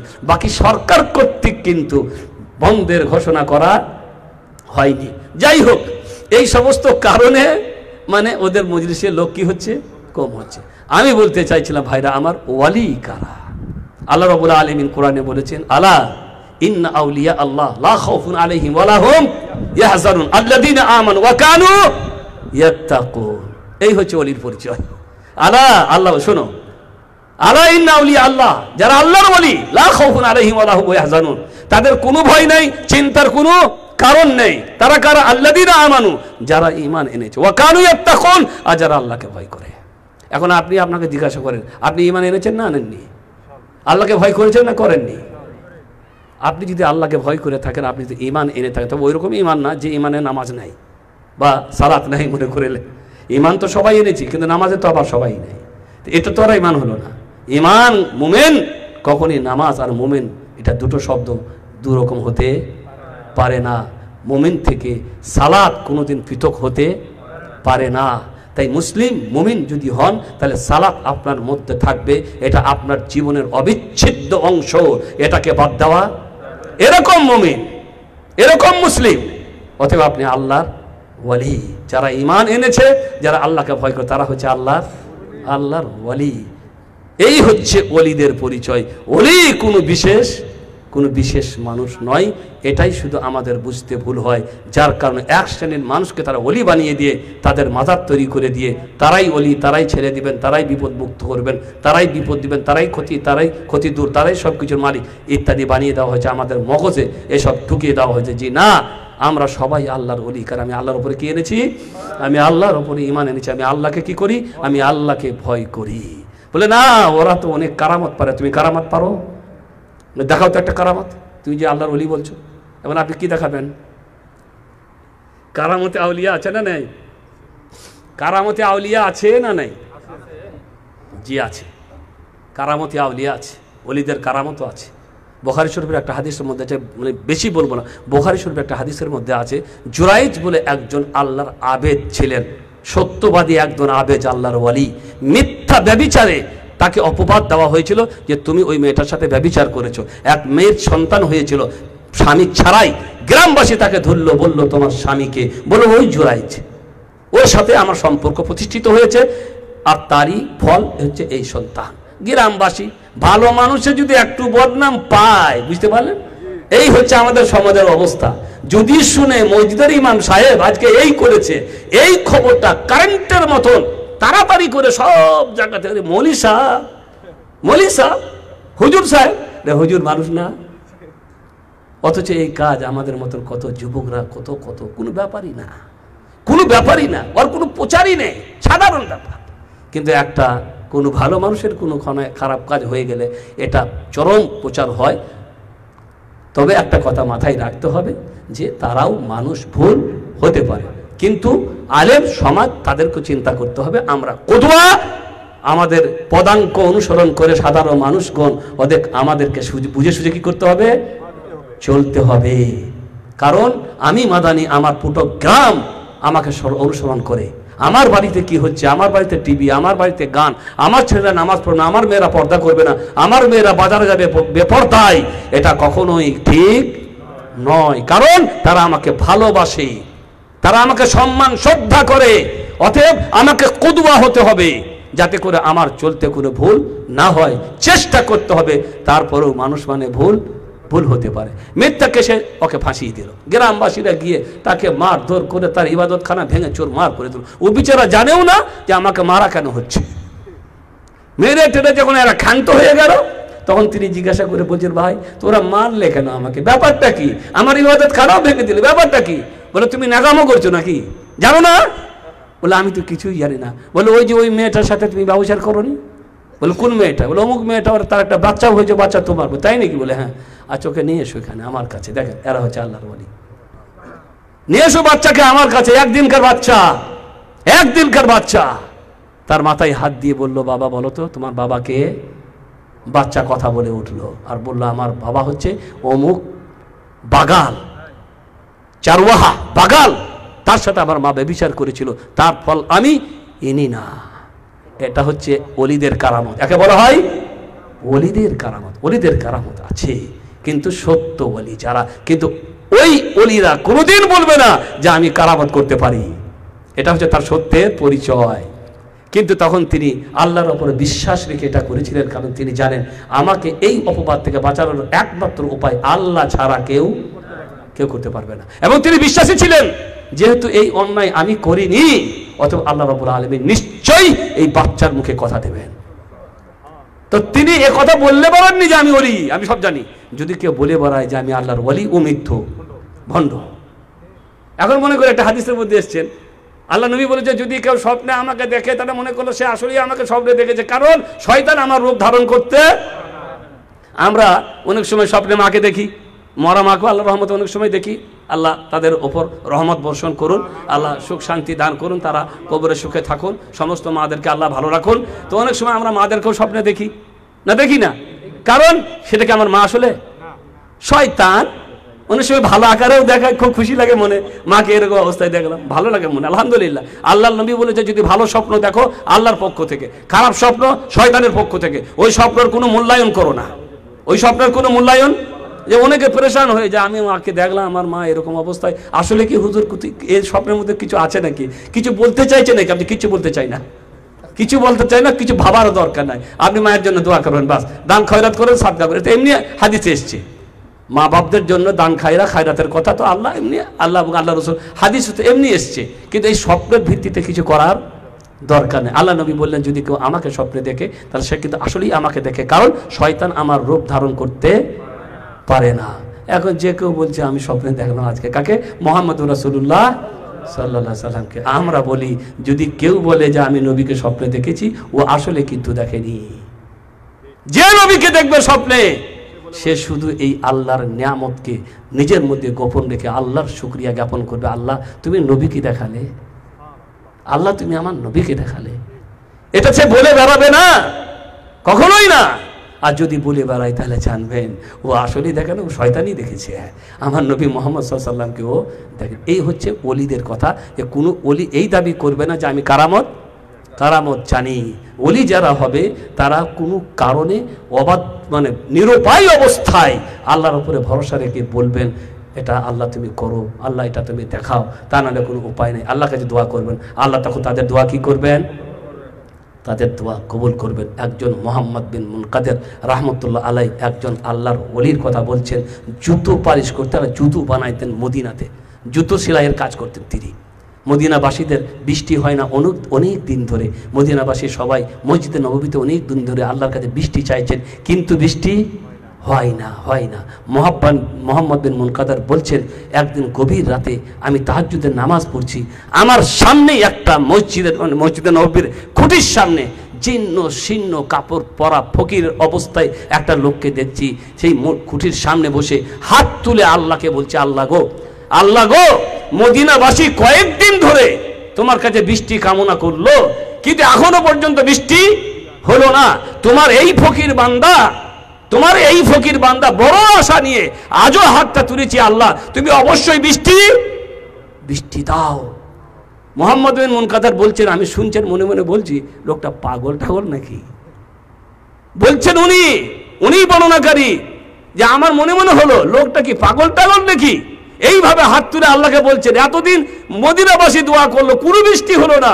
আর ইনি আজকে বলছেন, আল্লাহ তুমি বৃষ্টি দাও, তুমি আল্লাহ বৃষ্টি দাও। মোহাম্মদ মোহাম্মদ বিন মুনকাদার বলছেন, আমার ভাবার সঙ্গে সঙ্গে মানে আকাশের গর্জন শুনতে পাচ্ছি। আকাশের গর্জন শুনতে পাচ্ছি। একটু পরে মুসল ধারায় বৃষ্টি মুসল ধারায় বৃষ্টি। বৃষ্টি হয়ে গেল, নামাজ হল, ফজরের সবাই চলে গেল। ওই ফকির তিনিও চলে গেলেন তার সেই যেখানে তার বাড়ি ছোট্ট, যেখানে তিনি জুতোর কাজ, চামড়া দিয়ে জুতো বানাতেন আর কি। দ্বিতীয় দিনে মোহাম্মদ বিন মোহাম্মদ বিন মুনকাদের বলছেন, আমি ওনার সাথে গিয়ে দেখব আসলে ব্যাপারটা কি? দ্বিতীয় দিনে তার স্বাদ ধরেছেন তিনি। তারপরে গিয়ে তার বাড়িতে ঢুকে দেখেছেন, উনি কিন্তু মোহাম্মদ বিন মুনকাদেরকে চিনেন। নে বলছেন, কি আবু আবদুল্লাহ, কোনো জুতো টুতো সেলাই করতে এসেছ নাকি? তা বলছেন না, আমি জুতো সেলাই করতে আসিনি। আসলে আপনি কে? আপনি কে? এতদিন মদিনাবাসী দোয়া করল, বৃষ্টি হলো না, আর আপনার দোয়াই আল্লাহ বৃষ্টি কে আপনি? তা বলছেন, এত রাগা রাগলো, এত রাগা রাগলো, মনে হচ্ছে যে আমি ভয়ে পালাই না, হয়তো আমাকে মাথা চুর করে দিবে। আমি সঙ্গে সঙ্গে তার ওখান থেকে পালিয়ে এলাম। দ্বিতীয় দিনে দ্বিতীয় দিনে যখন আমি আবার তার ঠিকানায় গেলাম, দেখলাম তার বাড়িতে চামড়া, জুতো কিচ্ছু নাই আর সেই লোকটিও আর নেই। প্রতিবেশীকে জিজ্ঞাসা করলাম, তারা সবাই বললে, কি জানি কি হয়েছিল? সকালবেলায় তিনি তার সামান টামান নিয়ে এখান থেকে বিদায় হয়ে চলে গেছেন। কেন জানেন? কারণ তারা চাই না আমাদের কোনো কাজ কেউ জানুক। আল্লাহর ওয়ালি। তারা আমলকে কি করতেন? গোপন করতেন। আল্লাহর কাছে বিশ্বাস রাখতেন যে আল্লাহ কি করবেন? অবশ্যই দিবেন। আল্লাহ রসুল সাল্লামের জামানায় নবী ছিলেন। নবীর সময় তো কোনো সমস্যা নেই। যখন সমস্যা বৃষ্টির হয়েছে, আল্লাহ নবী দোয়া করেছেন, আল্লাহ কী দিয়েছেন? আল্লাহ বৃষ্টি দিয়েছেন। নবী চলে গেলে ওমর ফারুক রাজি আল্লাহ তালা আল্লাহর জামানা অনাবৃষ্টি দেখা দিয়েছে। ওমর ফারুককে বলছেন, চলেন, আপনিও তো জান্নাতি সাহাবি। এমন সাহাবি, দ্বিতীয় খলিফা মোহাম্মদ রসুল্লাহ সাল্লামের আপনি দোয়া করলে আল্লাহ অবশ্যই কি দেবেন? আল্লাহ অবশ্যই বৃষ্টি দেবেন। ওমর ফারুক বলছেন, না, আমি যাব না। তবে আমরা একজন মানুষকে হায়ার করব। তিনি হচ্ছে আল্লাহ নবীর চাচা আব্বাস রাদি আল্লাহ তালা তাকে ময়দানে নিয়ে যাব এবং তাকে দিয়ে আল্লাহর কাছে কি করব? তাকে দিয়ে আল্লাহর কাছে দোয়া করব। আব্বাস রাদি আল্লাহ তালা আনু অবাক হয়ে গেলেন। আমার প্রতি বিশ্বাস, কেন? নবীর চাচা। নবীর কে? নবীর চাচা। তাই তিনি ময়দানে গেলেন, আল্লাহর কাছে হাত তুললেন। অনেক বড় তার হাত তোলার দোয়াগুলো যদি পরে আমাদের চোখের পানি থামে না, সেই দোয়ার শব্দগুলি। তো বলছি, আল্লাহ এরা বিশ্বাস করে যে আমি দোয়া করলে নাকি তুমি কি দিবে? তুমি বৃষ্টি দিবে। কারণ আমি নবীর নবীর চাচা। আল্লাহ তুমি বৃষ্টি দাও। আল্লাহ তুমি বৃষ্টি দাও। রাবি বলছে, ফাইস কৌন বোখারি শরীফের হাদিস। সঙ্গে সঙ্গে আল্লাহ কি দিলেন? বৃষ্টি। আল্লাহর ওয়ালি। আল্লাহর ওয়ালি, বিশ্বাস করে আল্লাহর কাছে কিছু চাইলে আল্লাহ কি করেন? আল্লাহ দান করেন, কিন্তু তারা কথা বলেন না, মনে করেন না যে হ্যাঁ আমি আল্লাহর ওয়ালি আমি এটা করতে পারি, আমি ওটা আমি ওটা করতে পারি। একজন বিবি তার স্বামীকে বলছে, তুমি তো নামাজ, রোজা অনেক কিছু করো দিন রাত দেখছি, কিন্তু তোমাকে তো কোনো কারামত দেখাতে দেখলাম না। বলল, যারা আল্লাহর অলি হয়, ওরা কারামত দেখায়, হাওয়াতে উড়ে, আগুনে চলে। তুমি একবার দেখাও, তবে তো বুঝো তুমি আল্লাহর অলি তো মহা সমস্যায় পড়ে গেল। বিবি মানতেই চাই না, বিবি মানতেই চাই না। এবার আল্লাহ বলছে, আল্লাহ আমার বিবি তো মানতেই চাই না আমাকে। একটা কারামতি দাও না, আল্লাহ। একটা কারামতি দাও না। নিয়ে বলে একদিন উড়ে চলে যাচ্ছে। আল্লাহ তালা মসজিদ থেকে আর বাড়ি পর্যন্ত উড়িয়ে চলে যাচ্ছে। আর কি বুঝতে পারলে? তারপরে দূরে গিয়ে নেমে বাড়ি ঢুকছে। নিয়ে তখন তার স্ত্রী বলছে, দেখলে, আজকেও একজন আল্লাহর অলিকে দেখলাম। সেও আজকে আকাশে উড়ে যাচ্ছিল। বলছে পাগলি, ওটা তো আমিই ছিলাম। তাই নাকি? বলে হ্যাঁ। তাতেই বলছে টেরাটাকে কানে উড়ে। স্বামী স্ত্রীর কাছে ও স্বামী ওই রকমই থাকবে, আপনি যত বড়ই হয়ে যান না কেন? তো মোট কথা হচ্ছে, এসব ভণ্ডামি অলিদের কাহিনী অনেক আছে। ইবনে তাইমিয়া রাদি আল্লাহ রহমতুল্লাহ আলাই জামানাই কেরামতি দেখাইতো, ওই সময়কার অলিরা আগুনে চলতো। তাই তার ভক্তরা এসে বলল, আমাদের অলিরা আগুনে চলতে পারে তাই নাকি? বলে হ্যাঁ। যে, ঠিক আছে, ওদেরকে নিয়ে এসো। আমি যখন আগুনে চলতে পারব, তখন যেন আগুনে চলে। নিয়ে এসো ওদেরকে নিয়ে আসা হলো। তখন ইবনে তাইমিয়া রহমতুল্লাহ আলাই বললেন, শাইখুল ইসলাম ইবনে তাইমিয়া। তিনি বললেন আচ্ছা এক কাজ করুন, আগুনে চলার আগে আপনার হাঁটু পর্যন্ত পাটা ধুয়ে নিন। হাঁটু পর্যন্ত পাটা? না, পা ধুবো না। তখন তার ভক্তরা বলছে এতে আবার কি সমস্যা? পা ধুয়ে নেন। কারণ ভক্তরা তো তাদের চালাকে চতুরি জানতো না। বুঝতে পারলেন? আমরা আজকে অনেক সময় হয়তো আমরা বলি, এরা বুঝে না কেন? এরা বুঝে না কেন? কিন্তু আসলে ওদেরকে লালিত পালিত করা হয়েছে এমন যে তাদের বুঝটা হচ্ছে না। ভক্তরা মনে করে, আসলেই ঠিক বলছে, আসলেই আসলেই পীরদের কিছু আছে, আসলেই কিছু করতে পারে। তাদের দোষ নেই, কারণ তাদের মগজে অন্য কোনো কথা আমরা ভরতে পারিনি, ঢুকেনি, অন্য কিছু মোতালা করেনি, অন্য কিছু সে জানে না। আমাদেরকে আশ্চর্য লাগলে কি হবে? তো মোট কথা হচ্ছে ভক্তরা বলছে সুজা কথা পা ধুয়ে নেন অসুবিধা কি? বুঝে না, পা না। না পা দেবো না। শেষ পর্যন্ত আগুনে চললই না। চলে গেল ওরা। তখন ভক্তরা ইবনে তাইমিয়া শাইকুল ইসলাম ইবনে তাইমিয়া রহমতুল্লাহ আলাইকে বললেন, ব্যাপারটা কি? বলে দেখো, ওরা এক ধরনের তেল ব্যবহার করে। যে তেলটা ব্যবহার করলে আগুনের কোনো স্পর্শ হবে না, আগুন লাগবে না, কিছুই হবে না, কোনো আঘাত পাবে না। ওই জন্য ওরা পা ধরে না। পা ধুলে ওই তেলের অ্যাকশনটা নষ্ট হয়ে যাবে, তখন ওদেরকে পুড়িয়ে ছাড়খাড় করে ফেলবে। তখন কারামতে সব শেষ হয়ে যাবে। এই হচ্ছে আসল ব্যাপার। যাই হোক, আমি বলতে চাইছিলাম, আল্লাহ তালা বললেন, মান আদ আলী ওয়ালি আন ফাকার আদান তহুবিল হার আল্লাহর অলি আল্লাহর সৎ বান্দা, মোমিনদের সাথে যারা বেদবি করবে, যারা সত্যতা করবে, আমি আল্লাহ তার সাথে যুদ্ধ ঘোষণা করছি। ইন্না মা মা মা ওয়া মা ইয়াতাকাররাবু ইলাইয়া বিশাইইন আহাব্বু ইলাইয়া মিম্মা মিম্মা আলাই আর বান্দা যে সমস্ত কাজ দিয়ে আমার কাছে নৈকট্য লাভ করে, তার মধ্যে সেই কাজটা আমার কাছে সবথেকে প্রিয়, যেটা আমি ওদের উপরে কি করেছি? ফরজ করেছি। আল্লাহ যে সমস্ত কাজ দ্বারা আমার কাছে নৈকট্য লাভ করে, সেই কাজগুলির মধ্যে আমার কাছে সব থেকে ওই কাজটা প্রিয়, যেটা আমি ওদের উপরে কি করেছি? ফরজ করেছি। এখন নামাজ পড়লেন না। এশা তাহাজুদ পড়বেন? এশাই পড়েননি। তাহাজুদে কোন কাজ হবে? রমজানের রোজাই রাখেননি। সকালে রোজা রাখবেন? হ্যাঁ মহরমের রোজা, আরাফার রোজা, এগুলো নফল। আর রমজানের রোজা আপনি কি করেছেন? বাদ দিয়েছেন। ওই জন্য বলা হয়, মহিলাদের ক্ষেত্রে যাদের রমজানের রোজা বাদ যায়, স্বাভাবিক মহিলাদের মাসিক হয়, তখন পাঁচটা, সাতটা রোজা ওদের কি হয়? রমজানে বাদ যায়। সকালে রোজা ছটা কখন রাখবে? কাজা আদায় করে না কাজার পরে? শেখ শাইকুল সমস্ত শেখ আলেমরা বলছেন না, ওটা ফরজ। আগে ফরজটা রাখতে হবে, তারপরে সকালে রোজা। মা এসারা দিয়ে আল্লাহ তালা আনহা থেকে একটা হাদিসের মধ্যে এসেছে যে তিনি কাদা রোজা সাবান মাসে রাখতেন। কোন মাসে? মানে একেবারে রমজানের কাছে গিয়ে। তাহলে কি মা আয়সা সকালে রোজা রাখতেন না? বলে, না, রাখতেন না। কেন? আল্লাহ নবীর বিশেষ প্রয়োজন হতো, আর কোনো দরকার হতো। তাই তিনি সাবানের রোজা সবসময় রাখতে পারতেন না। এই আপনার সোয়ালের রোজা সবসময় রাখতে পারতেন না।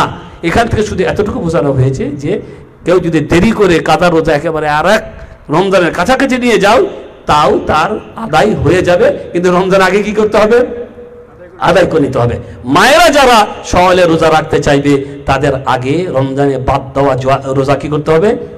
আর রাখতে হবে। তারপরে সওয়ালের রোজা। কারণ আল্লাহ বলছেন, আমি যে জিনিসটা ফরজ করছি, সেটাই হচ্ছে আমার কাছে সব থেকে বেশি প্রিয়।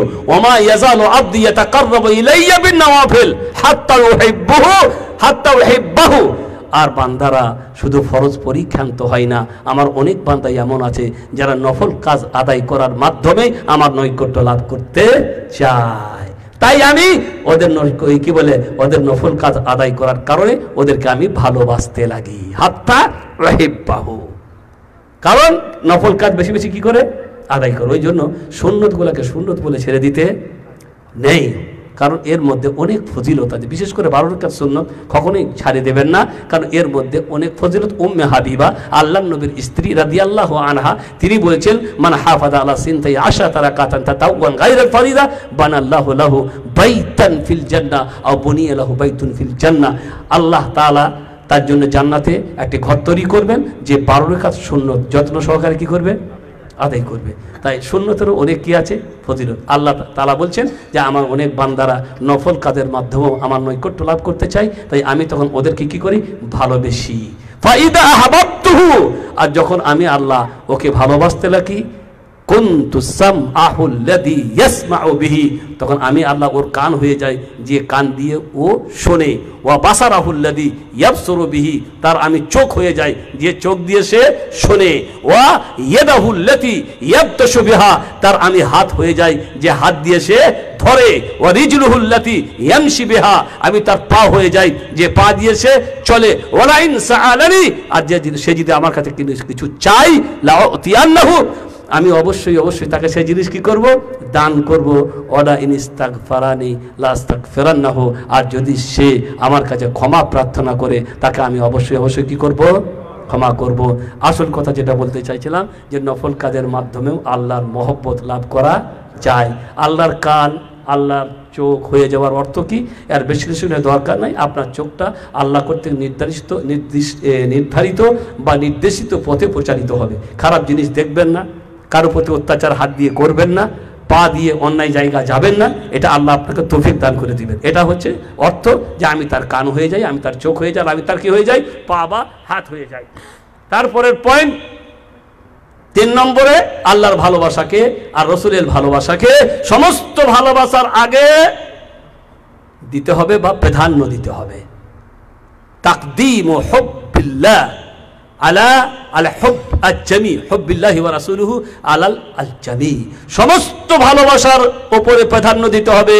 কার ভালোবাসাকে? আল্লাহ এবং আল্লাহর রাসূলের ভালোবাসাকে। আগে আল্লাহ এবং আল্লাহ রসুল, তারপরে দুনিয়ার আরও অনেক ভালোবাসা আছে, তাদের প্রতি ভালোবাসা হবে। এ কথা আল্লাহ কোরআনে উল্লেখ করে বলেছেন, কুল কুল ইনকান আবা ইন কান আবাউকুম ওয়া আবনাউকুম ওয়া ইখওয়ানুকুম وأزواجكم وعشيراتكم وأموال اقترفتموها وتجارة تخشون كسادها و- وتجارة تخشون ك- تخشون كسادها ومساكن ترضونها أحب إليكم من الله ورسوله وجهاد في سبيله فتربصوا حتى يأتي الله بأمره والله لا يهدي القوم الفاسقين আল্লাহ তাআলা বলছেন নবী তুমি বলে দাও যদি তোমাদের পিতারা তোমাদের সন্তানরা, তোমাদের ভাইয়েরা, তোমাদের বিবিরা, তোমাদের গোষ্ঠীর মানুষেরা এবং যে মাল, যে মালের, যে মাল তোমরা উপার্জন করো, সেই মাল, যে ব্যবসার মন্দা পরে হওয়া যে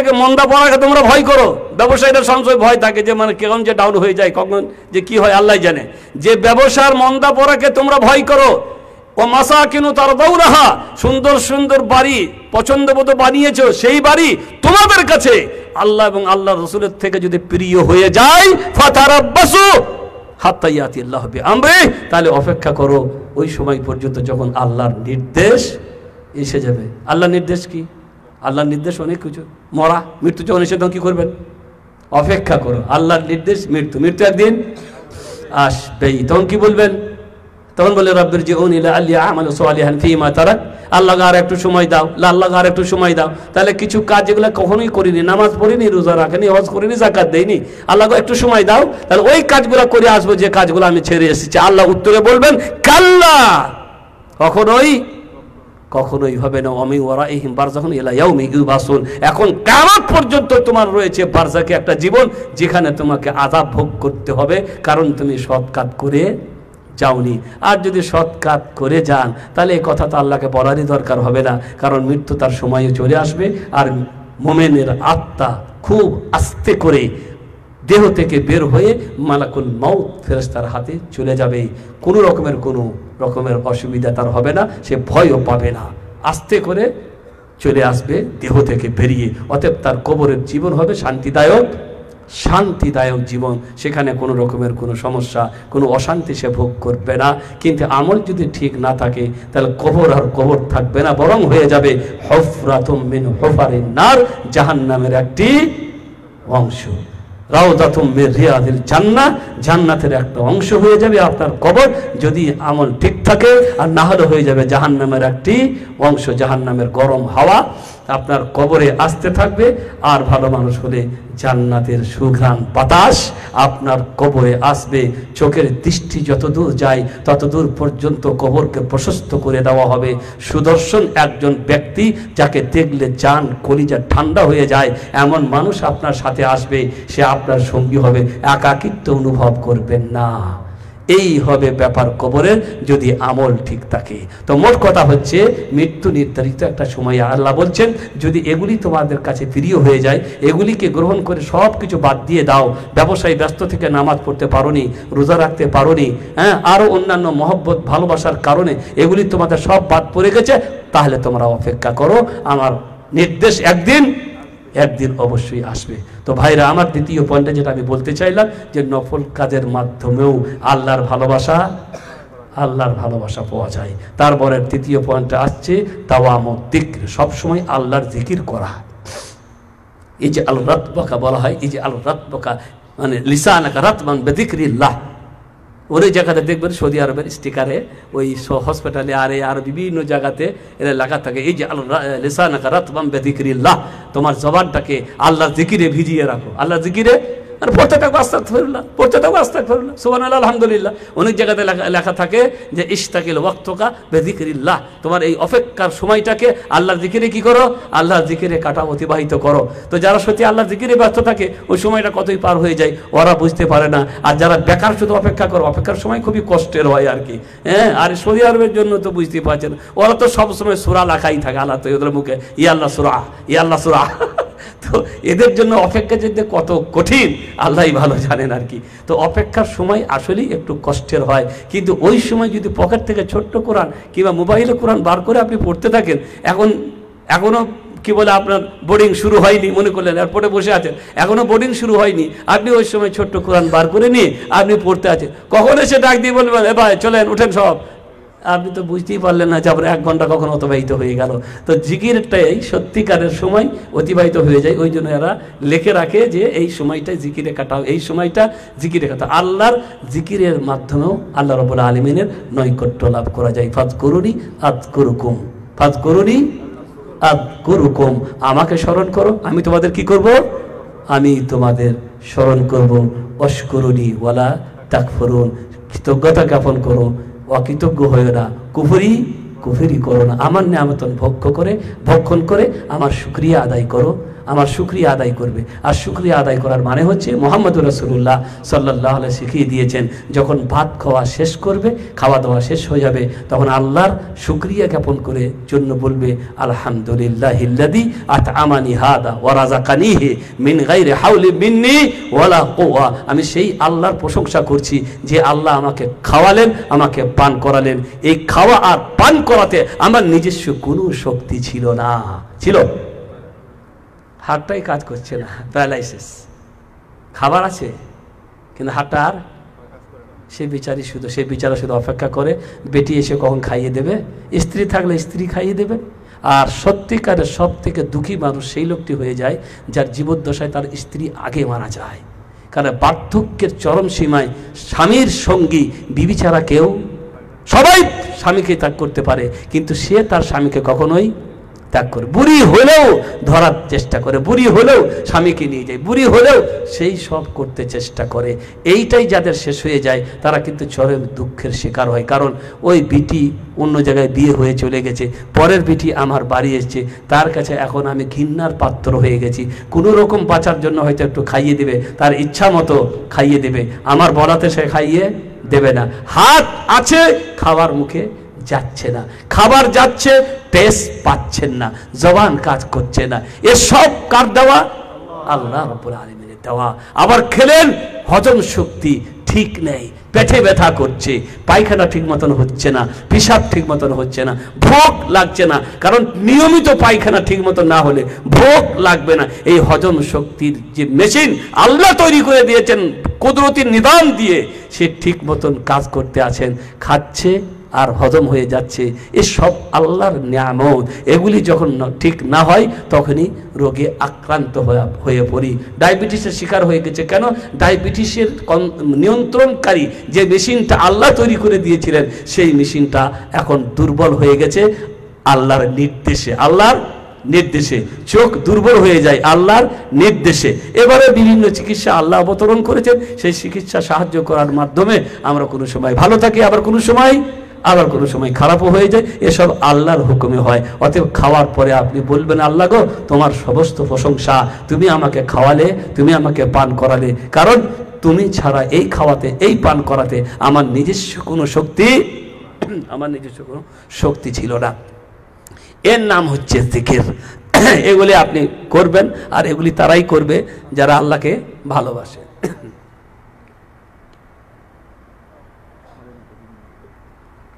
জিকিরের সাথে আরও দু একটা, দুটো জিকিরের কথা বলে দিই, যে ব্যাপারে আমাদের অনেকেই উদাসীন মানুষ আর কি। সবথেকে নিয়মিত এই জিকির যেটা করতে থাকবেন। একটা হচ্ছে সৈয়দুল ইস্তিফার একটা হচ্ছে আল্লাহর রাসুল সাল্লাহ সাল্লাম বলেছেন, সৈয়দুল ইস্তেফারের ব্যাপারে সকালে যদি কেউ মরে পরে আর সন্ধ্যা অবধি যদি মারা যায়, তাহলে সে হবে জান্নাতীদের একজন। আর যদি সন্ধ্যায় পড়ে আর সকাল সকাল অবধি মারা যায়, তাহলে সে হবে জান্নাতীদের একজন। আর এই হচ্ছে আমাদের সময়। এর বাইরে তার কোনো সকাল থেকে সন্ধ্যা, আর সন্ধ্যা থেকে আবার এর মধ্যেই মানুষ দুনিয়া থেকে যাবে আর দুনিয়াতে আসবে। দুনিয়া থেকে যাবে আর দুনিয়াতে আসবে। আল্লাহ নবী বলেছেন, যদি কেউ এই সৈয়দুল ইস্তেকবার সন্ধ্যায় পরে আর সকাল অবধি মারা যায়, তাহলে সে হবে জান্নাতীদের একজন। কিংবা সকালে পড়েছে, সন্ধ্যা অবধি মারা গেছে, জান্নাতীদের একজন দোয়াটা কি? আল্লাহুম্মা আল্লাহুম্মা, আনতা রব্বি, লা ইলাহা ইল্লা আন ওয়া আনা আবদুকা ওয়া আনা আলা আহদিকা ওয়া ওয়াদিকা মাস আউযু বিকা আলাই ওয়া লাকা বিদামবি ফাগফির লি ফাইন্নাহু লা ইয়াগফিরুদ দুনুবা ইল্লা কত সুন্দর সুন্দর কথা। আল্লাহ গো, আমি তোমার বান্দা, তুমি আমাকে কি করেছ? সৃষ্টি করেছ। আল্লাহ গো, আমি সাধ্য মতো তোমার কাছে যে ওয়াদা করে এসেছি, সেই ওয়াদার উপরে আমি প্রতিষ্ঠিত আছি। কি ওয়াদা করে এসেছিলাম? যে আমরা আল্লাহকে আল্লাহ বলে, রব বলে মানবো। মানি তো আমরা সবাই। রব বলে আবার কে মানে? হিন্দুরা মানে না?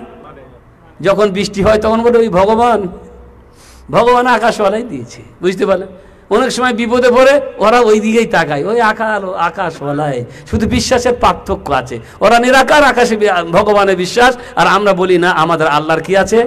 সুন্দর একটা আকার আছে।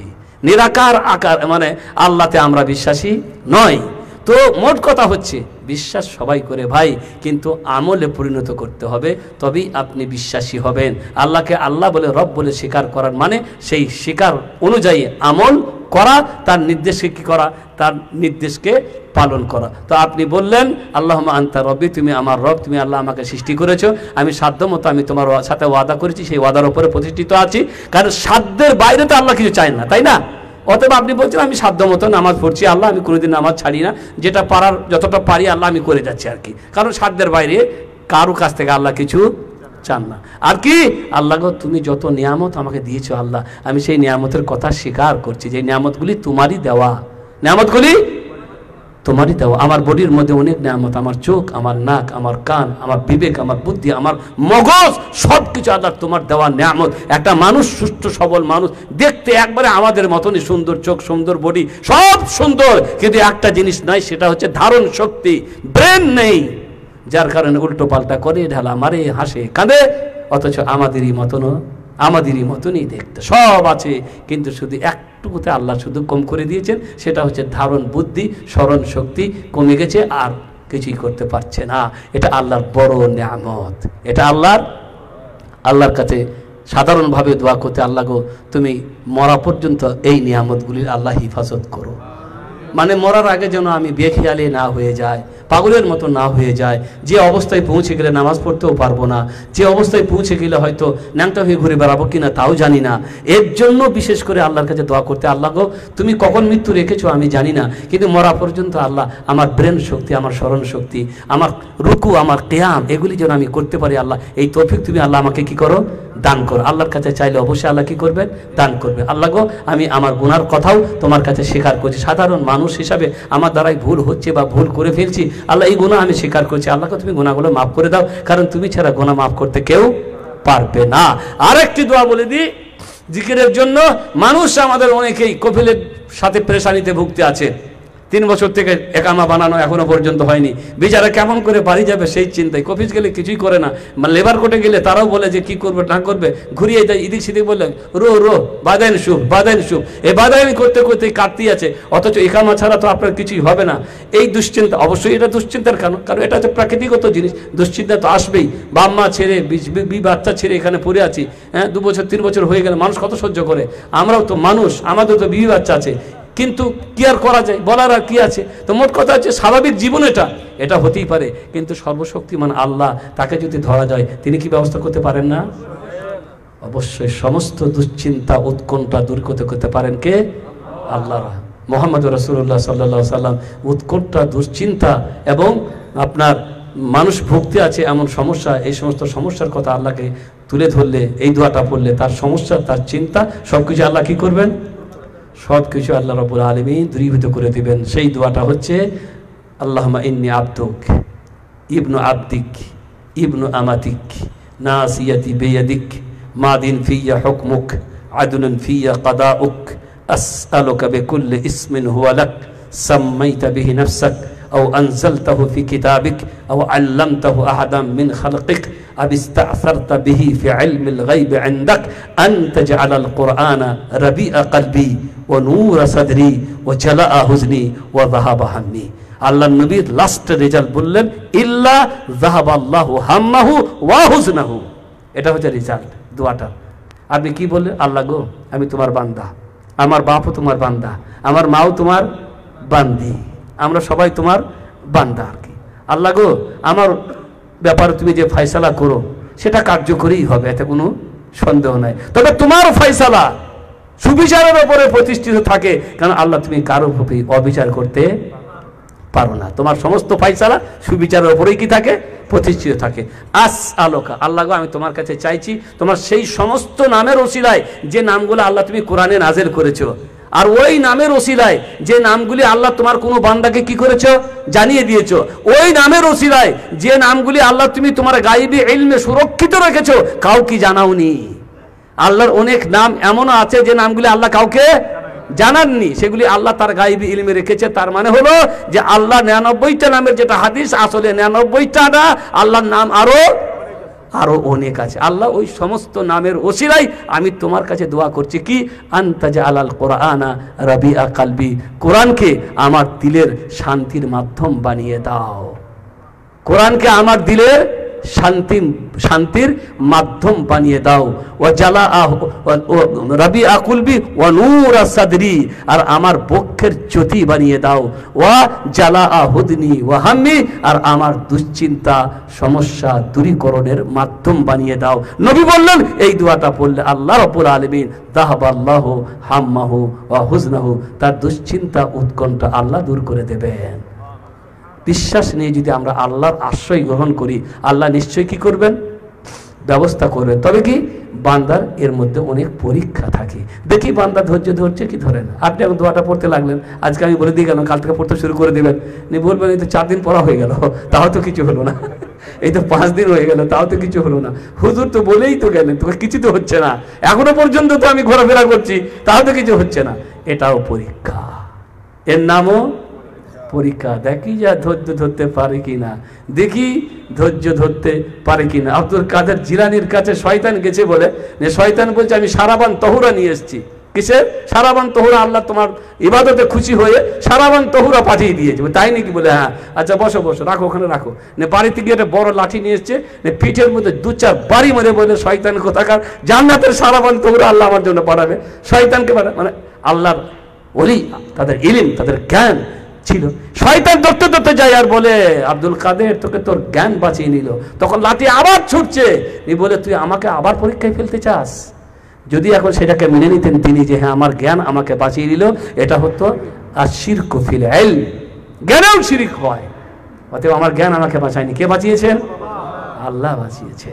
তো মোট কথা হচ্ছে, দোয়া আপনি যতই পড়ুন, আপনার জন্য পরীক্ষা হতে পারে। কিন্তু দোয়া রদ হয় না। এটা বলে গেছেন মোহাম্মদ রসুল্লাহ সাল্লাহ দোয়ার তিনটে অবস্থা হয়। হয় সঙ্গে সঙ্গে দোয়া করলে সেটা চেয়েছে সেটাই সঙ্গে সঙ্গে পেয়ে যাবেন। কিংবা ওই দোয়ার কারণে আরও বড় একটা মুসিবত আসছিল, সেই মুসিবতটাকে আল্লাহ রাবুল আলমিন কি করে দিয়েছেন? দূর করে দিয়েছেন, আপনি বুঝতে পারেননি। কিংবা এই দোয়ার কারণে আল্লাহ তালা আপনার জন্য সংরক্ষিত রেখেছেন, এই দোয়াটাকে কেমতে দেওয়ার জন্য যখন আপনার পাওয়ার বেশি দরকার হবে। তাহলে কোনো অবস্থাতেই দোয়া কি হলো না? দোয়া রদ হলো না, নিরাশ হওয়া চলবে না। দোয়া করতেই থাকবেন একগ্রতার সাথে। এমনকি এখানকার প্র্যাকটিক্যালে অনেক শেখরা বলছেন, অনেকের অনেকের ক্যান্সার ভালো হয়ে গেছে। শুধু সুরা ফাতিয়া পরে পরে ছেড়ে ছেড়ে বিশ্বাস রেখেছিল, প্রতিদিন পরে প্রতিদিন পরে প্রতিদিন পরে একদিন ডাক্তার আবার চেক করতে গেলে দেখে তার মধ্যে আর কিছুই নেই। বিশ্বাস। তো মোট কথা হচ্ছে, আমি যেটা চাইব সেটা পেতেও পারে, আবার আবার নাও পেতে পারে। হাদিসের মধ্যে আছে সাদকা করলে আল্লাহ বিপদ দূর করেন আল্লাহ কি করে? বিপদ দূর করেন সৌদি মহিলার ঘটনা মানে এখানকার সৌদি মহিলার বাস্তব ঘটনা, এক শেখ তার কিতাবের মধ্যে লিখেছেন তার স্বামী প্যালাইসিস হয়ে পড়ে আছে, কুমায়, কোনো কথা নেই, কোনো বার্তা নেই। বছরের পর বছর চলতে আছেন মহিলা তার স্ত্রী কিন্তু প্রতিদিন যায় কাকে? স্বামীকে দেখতে, প্রতিদিন যায়। তো ওর যাওয়া দেখে ডাক্তার, নার্সরা অবাক এ এ, একদিন দুদিনকার ব্যাপার না এত হয়ে গেল, আবার আসে, কি করবে কেন আসে? কিন্তু সে ছাড়ে না। প্রতিদিন প্রতিদিন যায়। হঠাৎ করে একদিন কিন্তু সে কোমা থেকে ফিরে গেছে।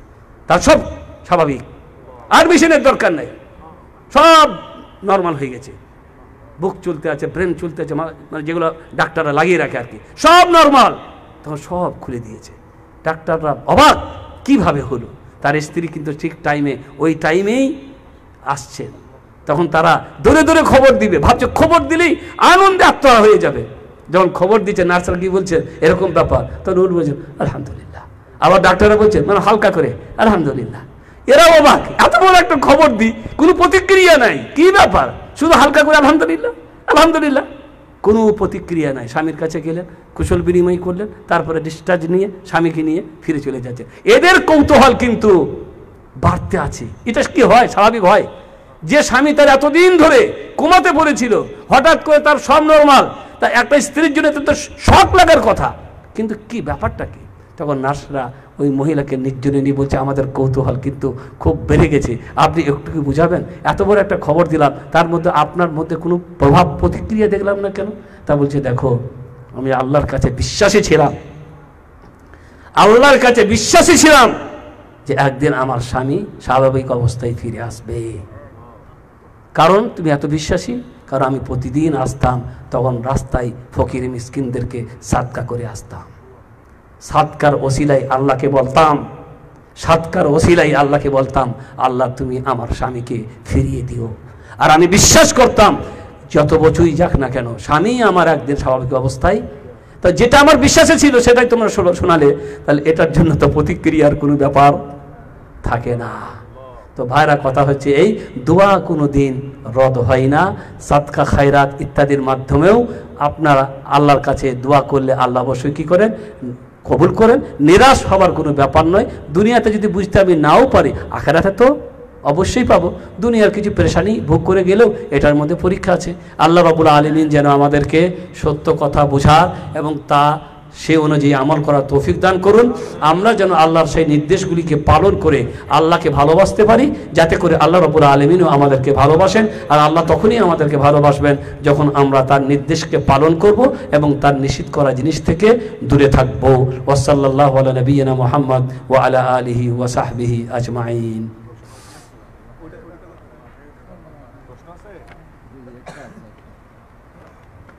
আলহামদুলিল্লাহ অত্যন্ত তাৎপর্যপূর্ণ আমরা বয়ান শুনছিলাম, সময় তো হাজিরিন আমরা মাত্র একটা প্রশ্নের উত্তর দিব, যদিও প্রশ্ন বেশি আসে নাই। তো আমরা একটা প্রশ্ন উত্তর দিব, সময়ও শেষের দিকে। প্রশ্নটা বলছেন, আসসালামু আলাইকুম, শেখ, আমার প্রশ্ন হলো, আমরা সবাই কোনো না কোনো সংগঠনের সাথে জড়িত। অর্থাৎ ব্রাকেটে ইসলামী সংগঠনের সাথে। গণ হাদিস দিয়ে বোঝান যে ইসলামী সংগঠনের সাথে যুক্ত না থাকলে জাহিলিয়াতের উপর তার মৃত্যু হবে। আর আপনারা বলে থাকেন নাজাদ প্রাপ্ত দল একটি। তাহলে কোনটি সেই দল? একটু বুঝিয়ে বলে উপকৃত হব। জাজাকুমুল্লাহ খেয়ারান। যাই হোক, প্রশ্নটা আপনারা অবশ্যই সবাই বুঝতে পেরেছেন। আমিও অনেক সময় বড়দের কাছ থেকে শিক্ষা পাই বা শিক্ষা নেই আর কি। আর আমার শেখ, যাকে আমি খুব ভালোবাসি,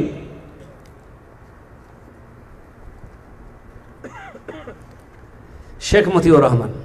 আর আমি ওনার সাথে প্রায় জায়গাতে আল্লাহ আমাদেরকে মিলিয়ে দেন। পিস টিভিতেও আল্লাহ মিলিয়েছিলেন। দুবাইয়ে আল্লাহ মিলিয়েছেন। কুয়েতে আল্লাহ মিলিয়েছেন। তো আল্লাহ তাআলা মিলিয়ে দিয়েছেন। তো অনেক সময় এই প্রশ্ন ওনার কাছে করলে আমিও শুনি। বুঝতে পারলেন? তো উনি এই প্রশ্নের উত্তর দেন বিভিন্নভাবে। তার মধ্যে একটা কথা উনি উল্লেখ করেন যে আল্লাহ নবীকে মক্কারা বলেছিল, মক্কার লোকেরা, যে তুমি এই দাওয়াতি কাজ বাদ দাও। তুমি যদি বাদশাহ হতে চাও, আমরা তোমাকে বাদশাহ বানিয়ে দেবো। যদি মালদার হতে চাও, তা তোমাকে সব থেকে বড় ধনী বানিয়ে দেবো। যত টাকা পয়সা চাও, সব দিয়ে দেবো। আর যদি তোমার ইচ্ছা থাকে সুন্দরী নারীকে বিয়ে করার তাহলে আরবের সুন্দরী নারী খুঁজে আমরা তার সাথে তোমার কি দেবো? বিয়ে দেবো। আল্লাহ নবীর জন্য একটা বড় সুযোগ ছিল। বাদশাহ হয়ে প্রশাসনের মাধ্যমে ঠেঙ্গাইয়ে ইসলামে নিয়ে আসব। পিটাইয়ে পিটাইয়ে। প্রশাসন আমার, শক্তি আমার, পুলিশ আমার, সব আমার হবে। নিয়ে বলব, যদি ইসলাম কবুল না করিস, তাহলে মার খাবি। এটা তো বেরোর সুযোগের ব্যাপার ছিল। কিন্তু আল্লাহ রসুল উত্তর কি বলেছিলেন? যদি চাঁদ সূর্য আমার হাতে এনে দাও, তবুও আমু, আমি সেই পথ থেকে এক বিন্দু হাঁটবো না, যে কাজের জন্য আল্লাহ আমাকে পাঠিয়েছিলেন। তাহলে এই চিন্তাটা তার মাথায় আসেনি যে একটা বিরাট সংগঠন বা আর কিছু আর কিছু করে তারপরে এগুলা করতে হবে, তারপরে এরকম করতে হবে। না, ব্যাপারটা এরকম তিনি দাওয়াত, কোনো মানুষের ওপরে চাপিয়ে দেওয়া যায় না।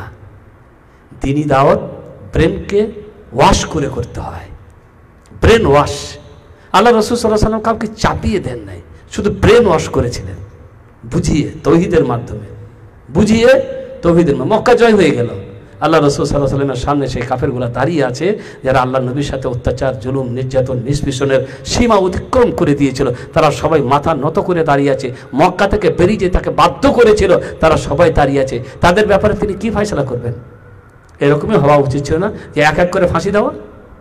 যা বর্তমান শাসকরা বর্তমানে করে, যখন অন্য ওপরের প্রেসিডেন্ট কোনো ভুল করে গেছে, তখন পরের প্রেসিডেন্ট তখন এরকমই করছে, এই অপরাধে তাকে কি দেওয়া হবে? ফাঁসি দেওয়া হবে। এই অপরাধে তাকে ফাঁসি, সব জায়গাতে হচ্ছে আমরা এখনও শুনতে পাচ্ছি, কয়েক জায়গাতে কয়েক প্রেসিডেন্টের পাশের কথা আসছে আর কি। তো আল্লাহ নবীর জন্য তো বড় সুযোগ ছিল, একটা শর্ত রাখা, যে তোরা যা অপরাধ করেছিস ক্ষমার যোগ্য নয়, তবে যদি ইসলাম গ্রহণ করে নিস, তাহলে আমি কিছু বলব না। কিন্তু তিনি তা বললেন না। তিনি তাদেরকে সম্বোধন করে বললেন আচ্ছা বলো, তোমাদের হয়ে আমি কি করতে পারি? তা বললেন, যদি আপনি আমাদেরকে হত্যা করেন, তা আমরা তারই যোগ্য। আর যদি আপনি ছেড়ে দেন, তাহলে আপনি, আমাদের প্রতি চরম অনুগ্রহী, অনুগ্রহকারী একজন ভাই হবে। আল্লাহ নই বলে, আল্লাহ নই বলে আমি তোমাদেরকে ওই কথাটাই বলছি, যে কথা বলেছেন ইসুফ আলাই সালাম, তার ভাইদেরকে। ঈদ হাবু আন্তম তোলাকা, লা যাও, তোমরা স্বাধীন। তোমাদের ওপরে তোমাদের জন্য কোনো কড়া পদক্ষেপ গ্রহণ করা হবে না। তিনি বলেননি, শর্ত করে যে ইসলাম গ্রহণ করো, তবে তোমাদের হবে না। পাওয়ার খাটাননি। তবে তারা আল্লাহ নবীর এই উদারতা, অপ্রত্যাশিত দয়া দেখে তারা সবাই দলে দলে ইসলাম গ্রহণ করেছিল। ইদা জা আনাসরুল্লাহি ওয়াল ফাত ওয়া রাআইতান নাস ইয়াদখুলুনা ফি ফি দীনিল্লাহি আফওয়াজা। তো ভাইরা, আমার কথা হচ্ছে যে দিনই দাওয়াতের মাধ্যম হচ্ছে শুধুমাত্র ব্যক্তিগত বলেন বলেন, আর যে কোনোভাবে বলেন, ব্রেন ওয়াশ করতে হবে, তৌহিদের কথা শুনিয়ে অটোমেটিক ইসলাম কায়েম হয়ে যাবে যখন তৌহিদ কায়েম হয়ে যাবে। অটোমেটিক তৌহিদ কায়েম হয়ে যখন যাবে, তখন ইসলাম আসল তৌহিদ পরে তো সব চলে আসবে সব সব চলে আসবে। একজন মদের দোকানদারকে গিয়ে যদি তার মদের দোকান জোর করে ভেঙে চোরমার করে দেন, সে কখনোই মদের দোকান বাদ দেবে না। ওই মদের দোকানের মাথাটাকে আপনি ওয়াশ করুন, একদিন ও নিজের হাতে নিজের দোকান সব ভেঙে ফেলবে। আল্লাহ রব্বুল আলমিন জোর করে সাহাবিদেরকে বলেন নিয়েছিলেন খবরদার, কাল থেকে তারা আর তার মদ খাবি না। খবরদার না? না। আল্লাহ প্রথমে ওয়াশ করলেন ব্রেন ওয়াশ নি বললেন, নবীকে প্রথম ওদেরকে বলো, মদ খেয়ে যেন নামাজে না যায়। মদ খেয়ে যেন নামাজে না। সাহাবিরা মনে একটুকু ঢুকে গেল। এটা আবার তাহলে মানে জিনিসটা খুব একটু ভালো নয়। মনে হয় খুব ভালো নয়। না নামাজে যেতে মানা করল কেন? এই হচ্ছে কথা। প্রথমে একটুকু ঢুকালো আল্লাহর চিন্তাধারা। তার পরবর্তীতে এলো। ওরা তোমাকে জিজ্ঞাসা করে যে মদ কি জিনিস? কেমন? ওদেরকে বলে দাও। মদের মধ্যে ভালো আছে আর মন্দও আছে। তবে অপকারের থেকে, উপকারের থেকে, অপকারের দিক বেশি। মানে ভালোর থেকে মন্দের দিক বেশি। এটা দ্বিতীয় পদক্ষেপ ছিল। কার? মহান আল্লাহ রব্বুল আলমিনের। তিনি তো আল্লাহ। তিনি তো চট করে বলতো, কাল থেকে মদ খেলেই তোমাদের এই অবস্থা হতে পারে। যখন তাদের ব্রেন ওয়াশ হয়ে গেল দুই পদ্ধতিতে। তৃতীয়তে এখন তারা বুঝলো যে প্রথমে তো বুঝেছিলাম যে আসলে ভালো নয়, এখন তো পরিষ্কার বুঝে গেল যে আসলে জিনিসটা ভালো নয়। তারপরে এখন তারা প্রস্তুত। ব্রেন তৈরি হয়ে গেছে। আল্লাহ বলে দেয়, ইন্নামাল খামরু ওয়াল মাইসার ওয়াল আজলাম ওয়াল আনসাব। রিজজুম মিন আমালি শাইতান ফাজতানিবু। বাস, মদ, জুয়া, লাটারি, মূর্তি পূজা, এ সব নাপাক কাজ, হারাম ফাজতানিবু খবরদার, আজ থেকে ও কাজ করা বাস। মদের যে ব্রেন তৈরি হয়েছিল বর্ণাকারীরা বলছেন, মদিনাতে মদের নালা বয়ে চলে গেল। বাড়িতে মদ তৈরি করা ছিল, হাঁড়ি, হোলা ভেঙে মদের নালা বয়ে চলে গেল। কেন? ব্রেন অস করা হয়ে গিয়েছিল তো ভাই, দিনের দাওয়াত চাপিয়ে দেওয়া যায় না। দিনের কাজ করতে হলে ব্রেন অস করতে হবে ব্রেন। দাওয়াত দিতে হবে তৌহিদদের দাওয়াতের মাধ্যমে। এটাই আমাদের শেখরা পড়ে, এই আর কি। আল্লাহ তালা আমাদের সবাইকে বুদ্ধি দান করুন আমরা যেন সঠিকটা বুঝতে পারি।